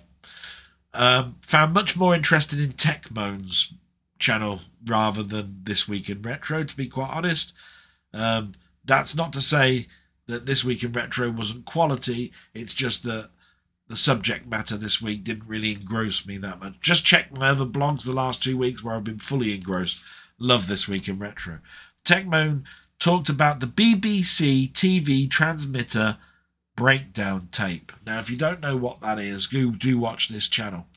But what tends to happen is is that back in the 60s, and there's no video, transmitters sometimes went to half power or broke down altogether. And they had to have something that told the person that was trying to tune in there's something wrong. Right? So there was lots of people manning transmitter stations that would flip a tape on and broadcast a transmission tape that says, We've got a problem and we're working on it. Just like we have on TVs these days with the card that comes up and says, We interrupt this program because we've got a problem. Uh, please listen to this music or this spinning cube or whatever while we work on the problem. Two minutes later, your TV program is back on. This was a 60s tape. So basically, it was in the early days of TV, mostly used on anything that used a UHF or AM transmission from these transmission stations. That was great. uh, Sticks did a he fixed a Golden T Golf TV game, which I watched purely because it had a trackball, and I thought it might have a trackball problem, but it didn't. It had a problem with power and a problem with um, showing the video, so I was a bit disappointed because I'd love to have seen the trackball assembly taken to bits. Um, but it's still an interesting watch. Um, this week I watched Mad Commodore. He was playing some new and old Commodore 64 games. It was really nice to go back to Mad Commodore after a period of time where I haven't. That was brilliant. Um, definitely check out Mad Commodore's channel. Uh, Jordan Ash did a Blue Yeti X comparison uh, old versus new for a mic, and I'll explain why. You might recognize that or notice that the sound is a little bit better. Um, that's because I'm now using a new microphone, and it's on a boom arm here. You might see it better if I change to the Galaxy Note Cam because it's just there on this boom arm. I'll talk about that later on because that's something that um, I want to talk about some of my purchases and all that sort of stuff. Um, and then we've got uh, on a retro tip. Now get that right. On a retro tip. They did a making of the Day of the Tentacle 30th anniversary documentary. Now, I'm not a big person that's on the SCUMM engine. But I loved Max hit the roads full throttle, but the most important one to me was Day of the Tentacle. And I've shown that in when I was showing off my MiSTer when it was showing how a PC could be actually done because I wanted to show you what MIDI sounded like. Um, so that documentary was wonderful because there were so many leaps and bounds in quality of the animation, the picture, and the sound in that game. It's night and day on how far they move forward with the SCUMM engine with Day of the Tentacle. So definitely watch that. Then there's a couple of um, new friends of mine that I always give a shout out at because they have a week a, a, a weekday or on a Wednesday movie chat done by Playtendo guy. And on a Wednesday, I go in there and I start talking about old TV, horror, sci fi, Marvel movies, and it's great. And it changes my brain slightly to something away from retro gaming, which is my first passion, really. You know, it's um, no word of a lie. Movies and games are very interwoven with me, but I would say that gaming is a slightly more than movies, but you wouldn't think about it. Um, It's just movies was something that I loved to do with a group of people, and gaming was something that I did by myself. A little bit when we're talking about the 8 bit years and so forth. Your experience will be different to mine. So I watched that on Wednesday and was part of their chat in the because I was in the chat room just writing some questions. But one of the panelists is called Rock God 2004, and he finished off a series of videos called the Hammer Film Collection. It's his own personal Hammer horror film collection with advice on which ones have got slip covers, which ones are in collection box sets, how he started his collection, and a discussion on which ones he considers to be classic and which ones that not so classic and ones he might even avoid if it were for the fact that he loved Hammer horror so much. So he did that in a subscription unboxing. And that pretty much rounds up what I watched on YouTube, apart from your stuff. So when it comes to your stuff, what have I watched this week? These are the standout ones that I managed to get round and watch. Uh, Down the Rabbit Hole is at the top. I saw him. Um, and he was just demonstrating a Vectrex game called Xantis, which I really, really liked. I did mention to him I thought it was lacking a second screen. I'd encourage you to go and look at that video and make your own decision up. The Vectrex is one of those lovely systems, one of the ones that I wish I still had. Um, but if I did still have it, uh, Xantis is the type of game I would be playing. No word of a doubt on that. And then he took us around the Vancouver Retro Gaming Expo. So obviously he's had some sort of like um, you know event where all people uh, meet up. You can watch, you can see some YouTubers there, table events, playing arcade games, stuff where you can buy all your old retro tech at. Um, and he took us kindly around. And I think he showed a picture at one point of John Hancock, who's got his own channel. John Hancock is a well established um, video retro game guy, mostly very old early stuff like Atari VCS, Coleco, Intellivision, but brings it up to modern day with the Evercades and so forth. If you haven't checked out that channel as well, do so. Uh, then we move to Robert's Retro Gaming. Um, he continues along the line of Minecraft and Dwarf Fortress. Now, I might be wrong with my figures here, but I think he's up to episode 31 or 32 of Minecraft and over episode 18 or 19 of Dwarf Fortress. I try to keep myself up to date as much as possible. I do watch these, not quite so closely as I used to because I'm not playing Minecraft at the moment and I haven't got Dwarf um, Fortress. But it's not sometimes whether you've got something, it's sometimes about the enjoyment of watching somebody else play a game. I can see myself going round Roberts, say, uh, to have a conversation and then get totally engrossed watching him play a game. Do you know what I mean? And me continue to talk to him while he's playing his game that's what I used to do back in the day, and it's it's that sort of friendly atmosphere that makes me continue to watch. Yeah. Then we've got Steve's gaming. Um, he continues his ZX Nightmares. He's on episode three now. Um, some standout ones that were in there were Play Your Cards Right, um, Kung Fu Master, and Breakthrough. That, but there are more games in there. It really was funny this week. Um, he was doing playing cards right. He couldn't quite remember the game show, although he could. But he forgot that in that game where you ask 100 people and you get it right, the first thing that you can do is that you, if you move on through the board, going higher and lower, if you've ever seen the game, you can freeze at any point. And the advantage of freezing is the next time you win the next the question, you could change the card. So, of course, when he was playing it, and because he wasn't ever getting to the end, he got very close at one point. He was going back to the first base card, which was a queen every time. That card's never going to change unless you tell it to change. And queen's a good card anyway, but you still didn't get to the end. That was so funny. I was keep going, can't you see the letter? It says F for freeze. Use F for freeze. For God's sake, freeze. I was like that with him. I get so graphic and um, and anim, anim, anim, animated when I'm watching Steve's games. It's great. Um, now I'm mentioning Mamemeister because he's not been very well just recently.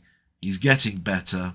Um, we've missed him a little bit, but he did do a Sunday stream last week, and there will be a Sunday stream, I'm sure, today.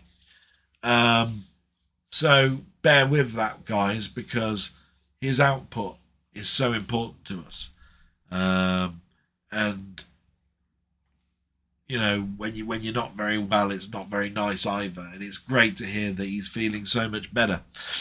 Then we get to Colin Jones, who I mentioned earlier, Ponder. He did a cycle adventure, volume 181. Now, I'm not going to say to you guys, go out now and watch 181 videos of cycling adventures, because these cycling adventures are, are great because they're informative of what they're trying to do. The amount of people that are going through red lights, that are going into bus lanes, that are corner cutting you up. Colin has done the right thing. He's got a prox- he's got a proximity meter um, for people that are getting too close. He follows the rules, and you see all these delivery people going, "Oh, rules don't apply to me. Going to go straight through." Um, but I do know that they're under pressure as well. If they don't do something within a set time, they don't get their money. But we should all follow the rules, especially the rules of the road. Um, let's cut the death rate down, shall we, for people on the road. And watching these videos, you'll see just how bad it is. And then we come to Magdalena, and I'm going to keep saying that name because I've got that bit right. It's the surname I can't do now, I think. So Magda K or Magdalena, as I know it has, she's really going head for head tilt forward with her projects. So we had nothing for a couple of months, and she's now starting to um, get her apartment looking right. Um, she's building shelves. Um, she's cooking Polish dishes. Um, showing off her new apartment, and she's later on obviously going to extend her portfolio of some little basic exercises that we could all do with, you know, stuff you could do in house. So definitely a channel to watch. Um, as as that channel is now starting um, to bring out more output and give us life lessons that's the word I was looking for. And then we've got LFC Gamer and Vlogs. He did a blog yesterday. Brilliant it was. He started to collect VHS tapes and he wanted to talk a little bit about YouTube comments going missing. We feel your pain, LFC. I definitely do, with the comments that disappear. Absolutely atrocious. Um, VHS tape um, collecting, nothing wrong with it. More quill to your bow, matey. I will say this um, the problem that with VHS tape now is not really probably the tape anymore. It's more to do with the heads of the player. I've still got my video players, they're upstairs. But I do know that the heads on them must be harder to get hold of now or align. There are so many break points inside a video recorder that makes that tech difficult. Um, but you carry on, matey. Nothing wrong with that. And I just wanted to do a quick shout out that Denny has got a video coming out today uh, on Invincible Island, which was a text adventure back in the day. And it may not sound like very exciting, but the production values, the amount of effort, work that's gone into this, and how how informative and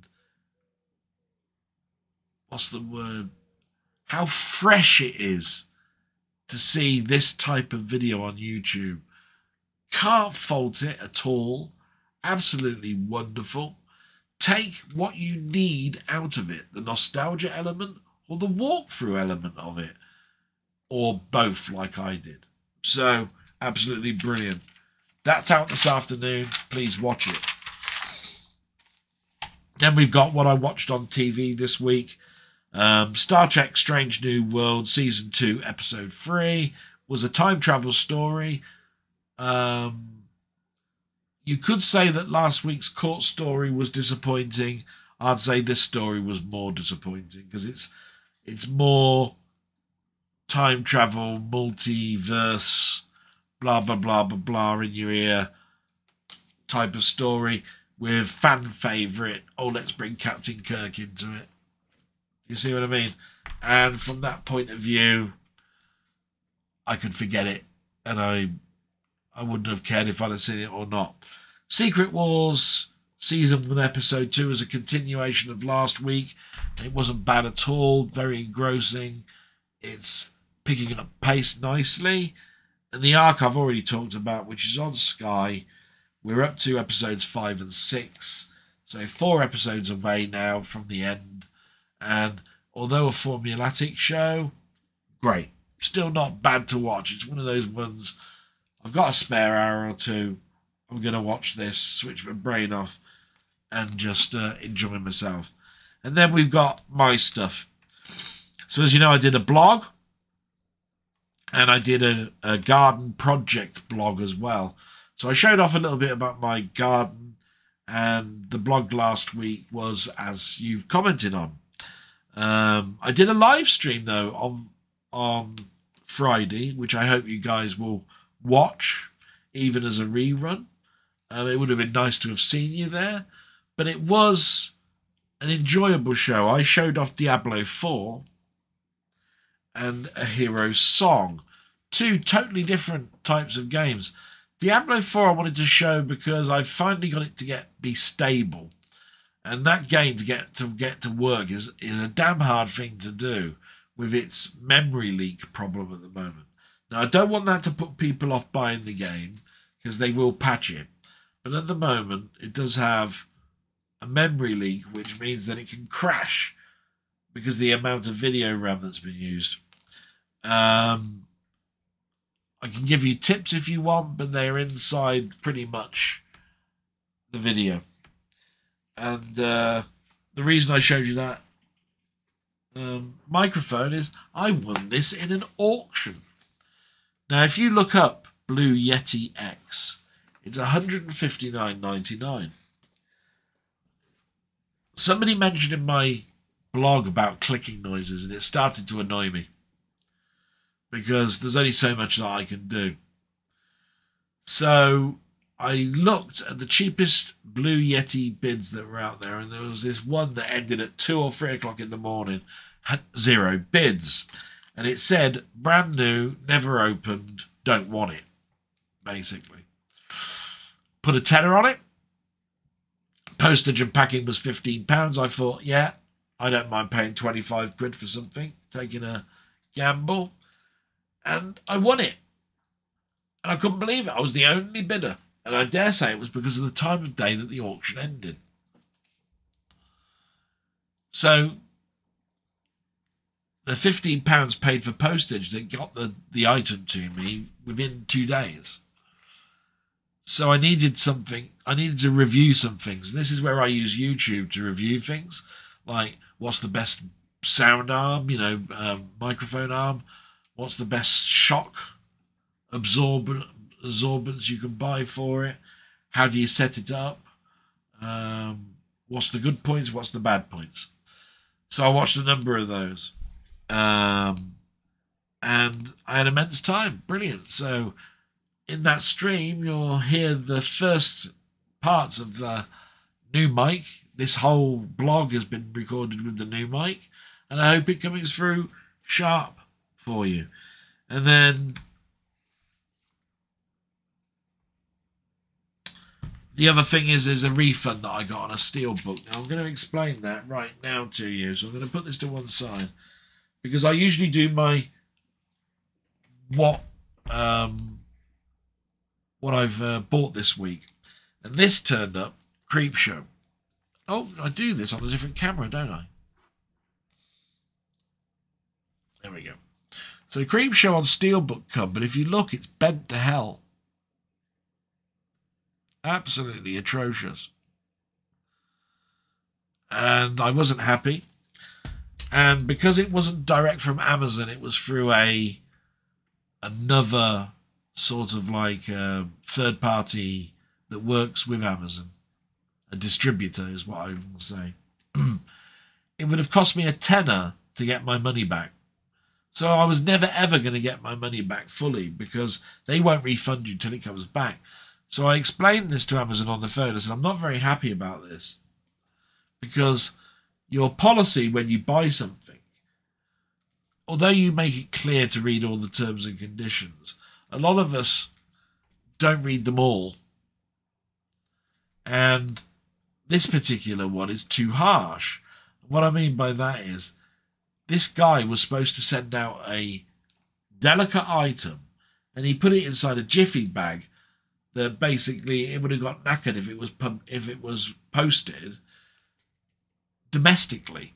The fact it was going internationally should have meant that he should have packaged it up in a um, cardboard, hardboard lining wrapper. Yeah, but he didn't, and that's why it's bent to buggery. I won't accept this, and I want the my money back. But I would accept um, the item to keep minus how much it would cost me to send it back. So if he'd like to refund me all but £10 of the item, I'm happy to keep it. After much to and fro-in, he agreed to that. So I got a happy ending. But I had to jump through hoops for it. And the company, I'd, I'd never trade with them again. I know that. East Berlin Distribution, something like that they're called. Um, because he, he mentioned the next time that you want to order from us, um, Del Boy, it, it basically stated, um, please let us know you're in a different country and we will endeavour to put it in better packaging. You're a distributor of media. You should know that nobody will accept jiffy bags anymore. So that was the end of that. Now I've got two versions of Avatar. And the reason for that is one's 3D and one's 4K, both steel books. Um, yes, I've still got a 3D telly upstairs, so that was important to me. 4K because that's the media that we use now. Haven't got round to seeing um, those on physical media, but I have watched it at the cinema and I have watched it on Disney Plus. then we got The Walking Dead season 11 the complete, which the year that this came out, Walking Dead season 11 was in two parts. So they put the two parts and released it as one box set, which is nice. Steel book, nice sort of like shiny cover.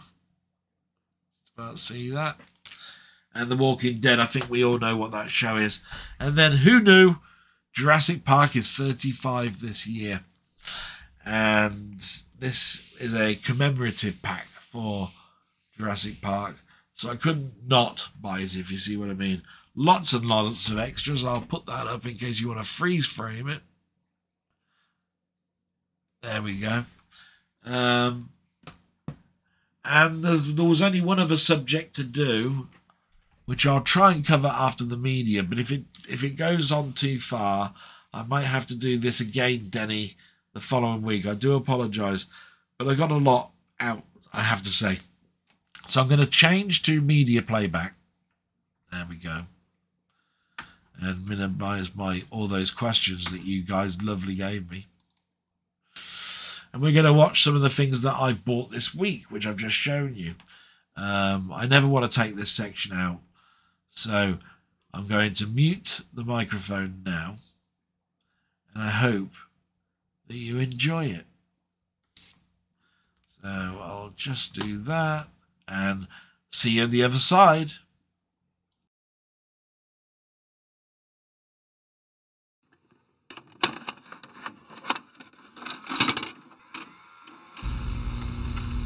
For entertainment on broadcast television you can order our next feature at the push of a button. They've got all my favorite movies on cassette.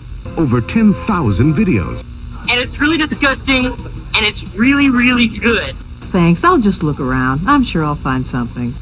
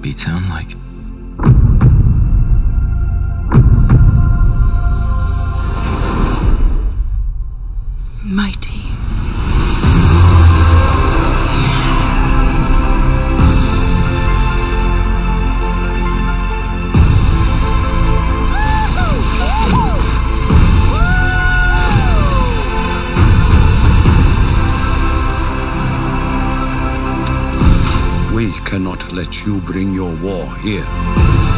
Outcast. That's all they see. I see you.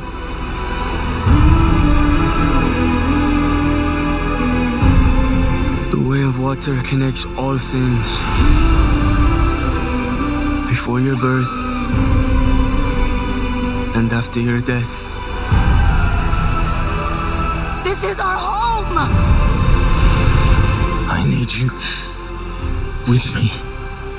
And I need you to be strong.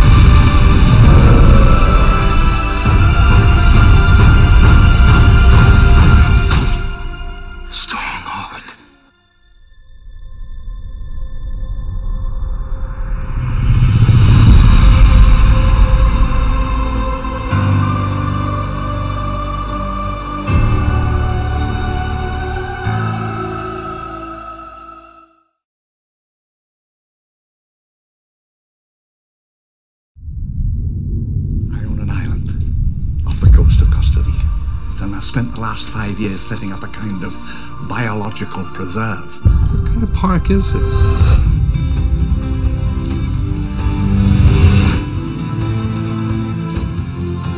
We've made living biological attractions so astounding that they'll capture the imagination of the entire planet. It's, it's a dinosaur. There's no doubt our attractions will drive kids out of their minds. Grandpa! We're gonna make a fortune with this place.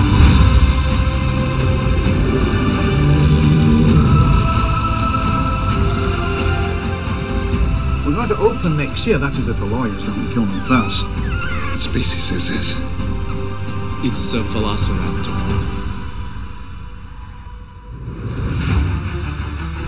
Park will open with the basic tour you're about to take. Don't you see the danger, John, inherent in what you're doing here? Genetic power is the most awesome force the planet's ever seen. But you wield it like a, a kid that's found his dad's gun. These are aggressive living things that have no idea what century they're in, and they'll defend themselves violently if necessary.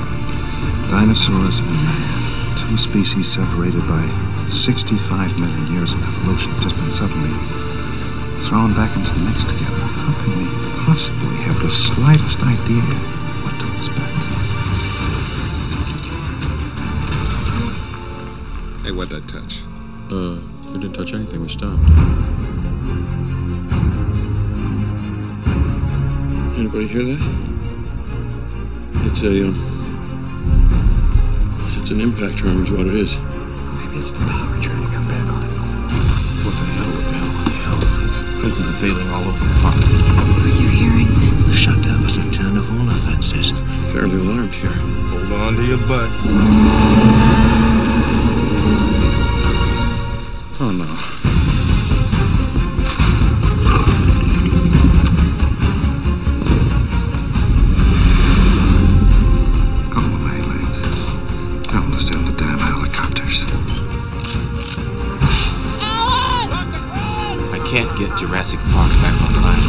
That's nice. Gotta go. Come on, come on, come on. We gotta get out of here. We Gotta get out of here. The only thing that matters now are the people we love. Which is just a delay. That's all it is. All major theme parks have delays. Yeah, but John, if the Pirates of the Caribbean breaks down, the pirates don't eat the tourists.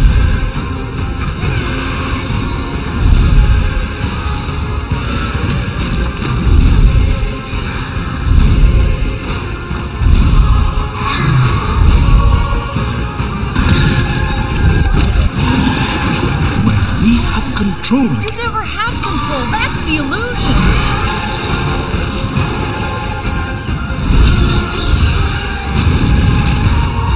Boy, I hate been right all the time.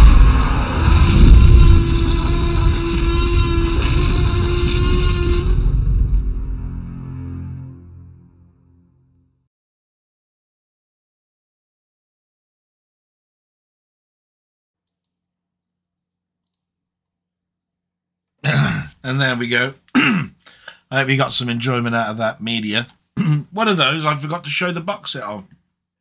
And I'd normally do in that camera, but it was this Arrow Video 80s box set of films. You can see the dolls, Robot Jox, etc. Um, lovely box. Um, everybody's raving about it. I'm looking forward to opening it up. A couple of these I'd already seen.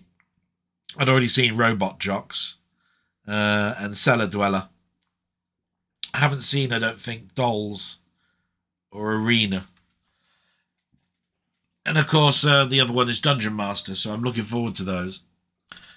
And looking at the time, two hours ten. I apologise for that, but I had stuff that I needed to talk about and make up for.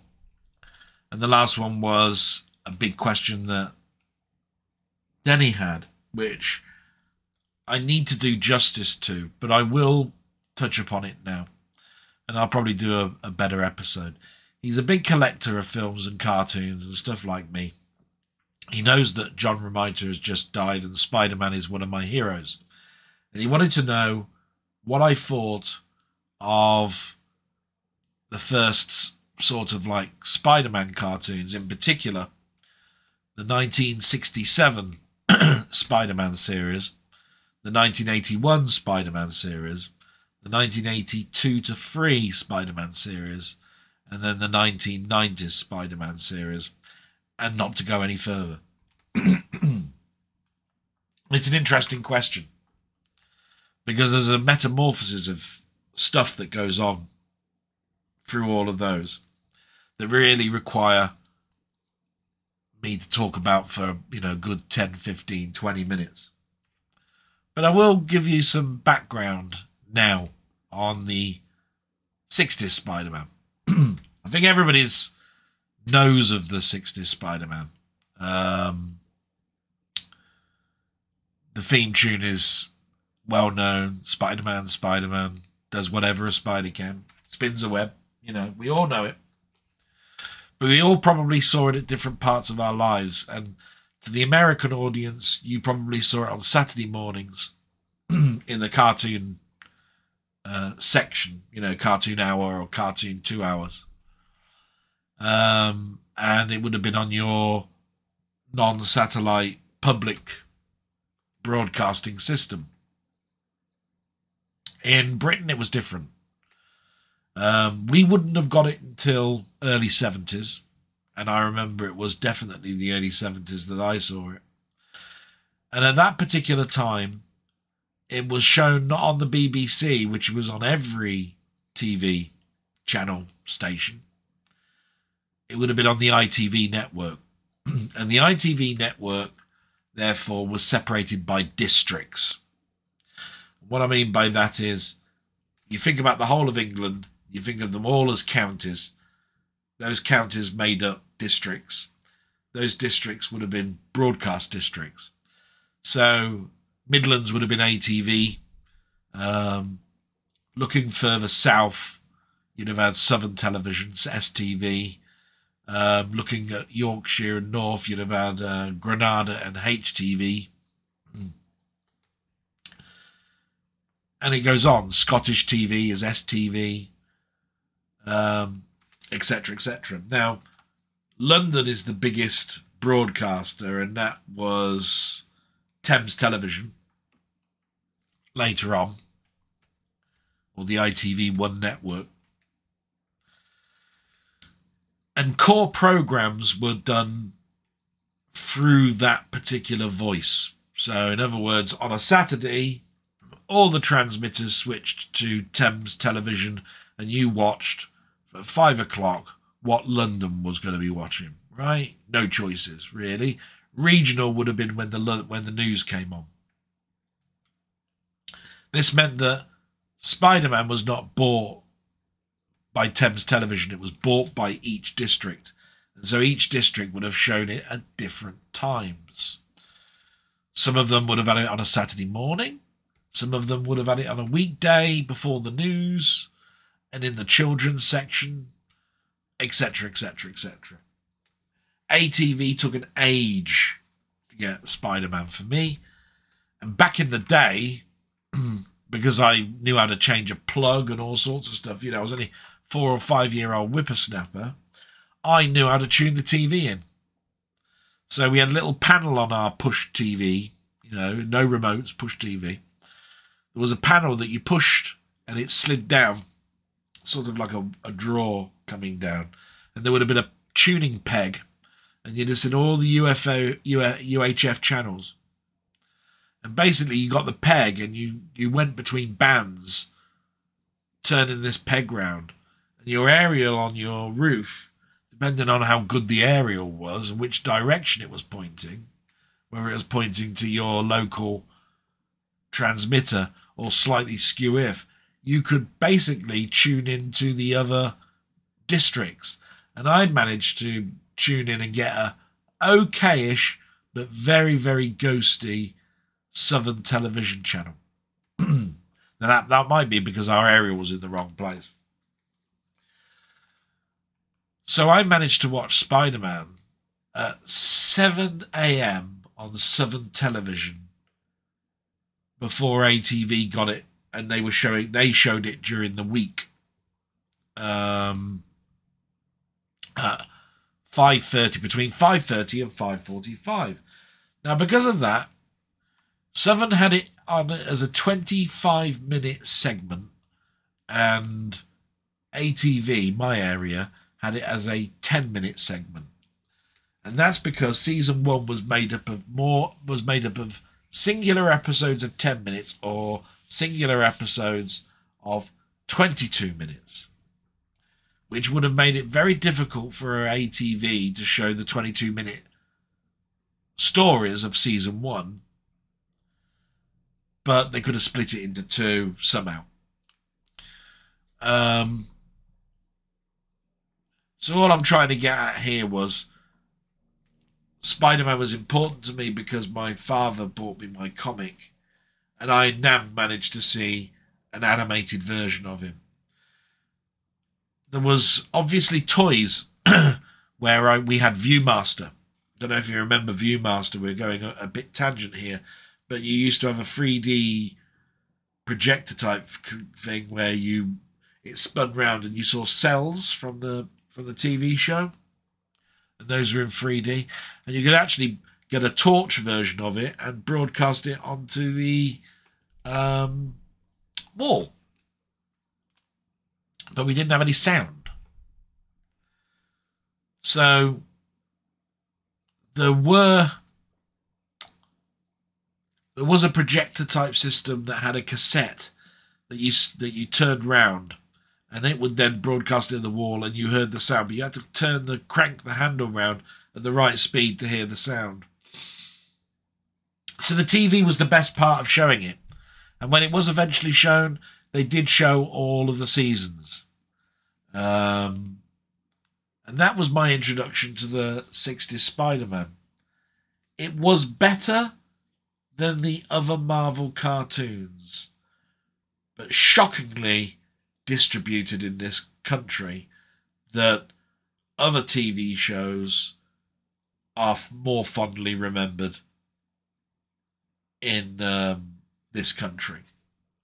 So you can imagine there would have been Marine Boy, Sinbad the Sailor, all the Looney Tunes, Merrie Melodies, Tom and Jerry, all of those much more well known. Spider Man, what the hell's that? And it's a shame because although it has limited animation, you can definitely see its budget seriously cut in although the villains are not like the comic it was the only spider-man thing out there and it was so much better than the other Marvel cartoons, which were for Captain America Submariner, and Iron Man. And the Hulk, of course. So, those used what they call static animation, where they took the comic book cell, you know, panels, and then just animated them out and told the story as verbatim from the comic. Spider Man was more, this is fully animated. Him web swinging is nothing like any cell out of any comic book, and uh, therefore we're, we're, we're going much more verbose than any other Marvel cartoon done at that particular time. And that's why it lasted as many seasons as it did compared to the Hulk and the Four and all that, which were one seasons. That's all they were, one season. Uh, five, I believe, for the 60 Spider Man. 67 to 72. Yeah. And then we don't hear nothing until 81. And this is where I'm going to have to stop because of the time it's going to take. I loved my time with the 60s Spider Man, and I still watch it now. The music in it is just out of this world.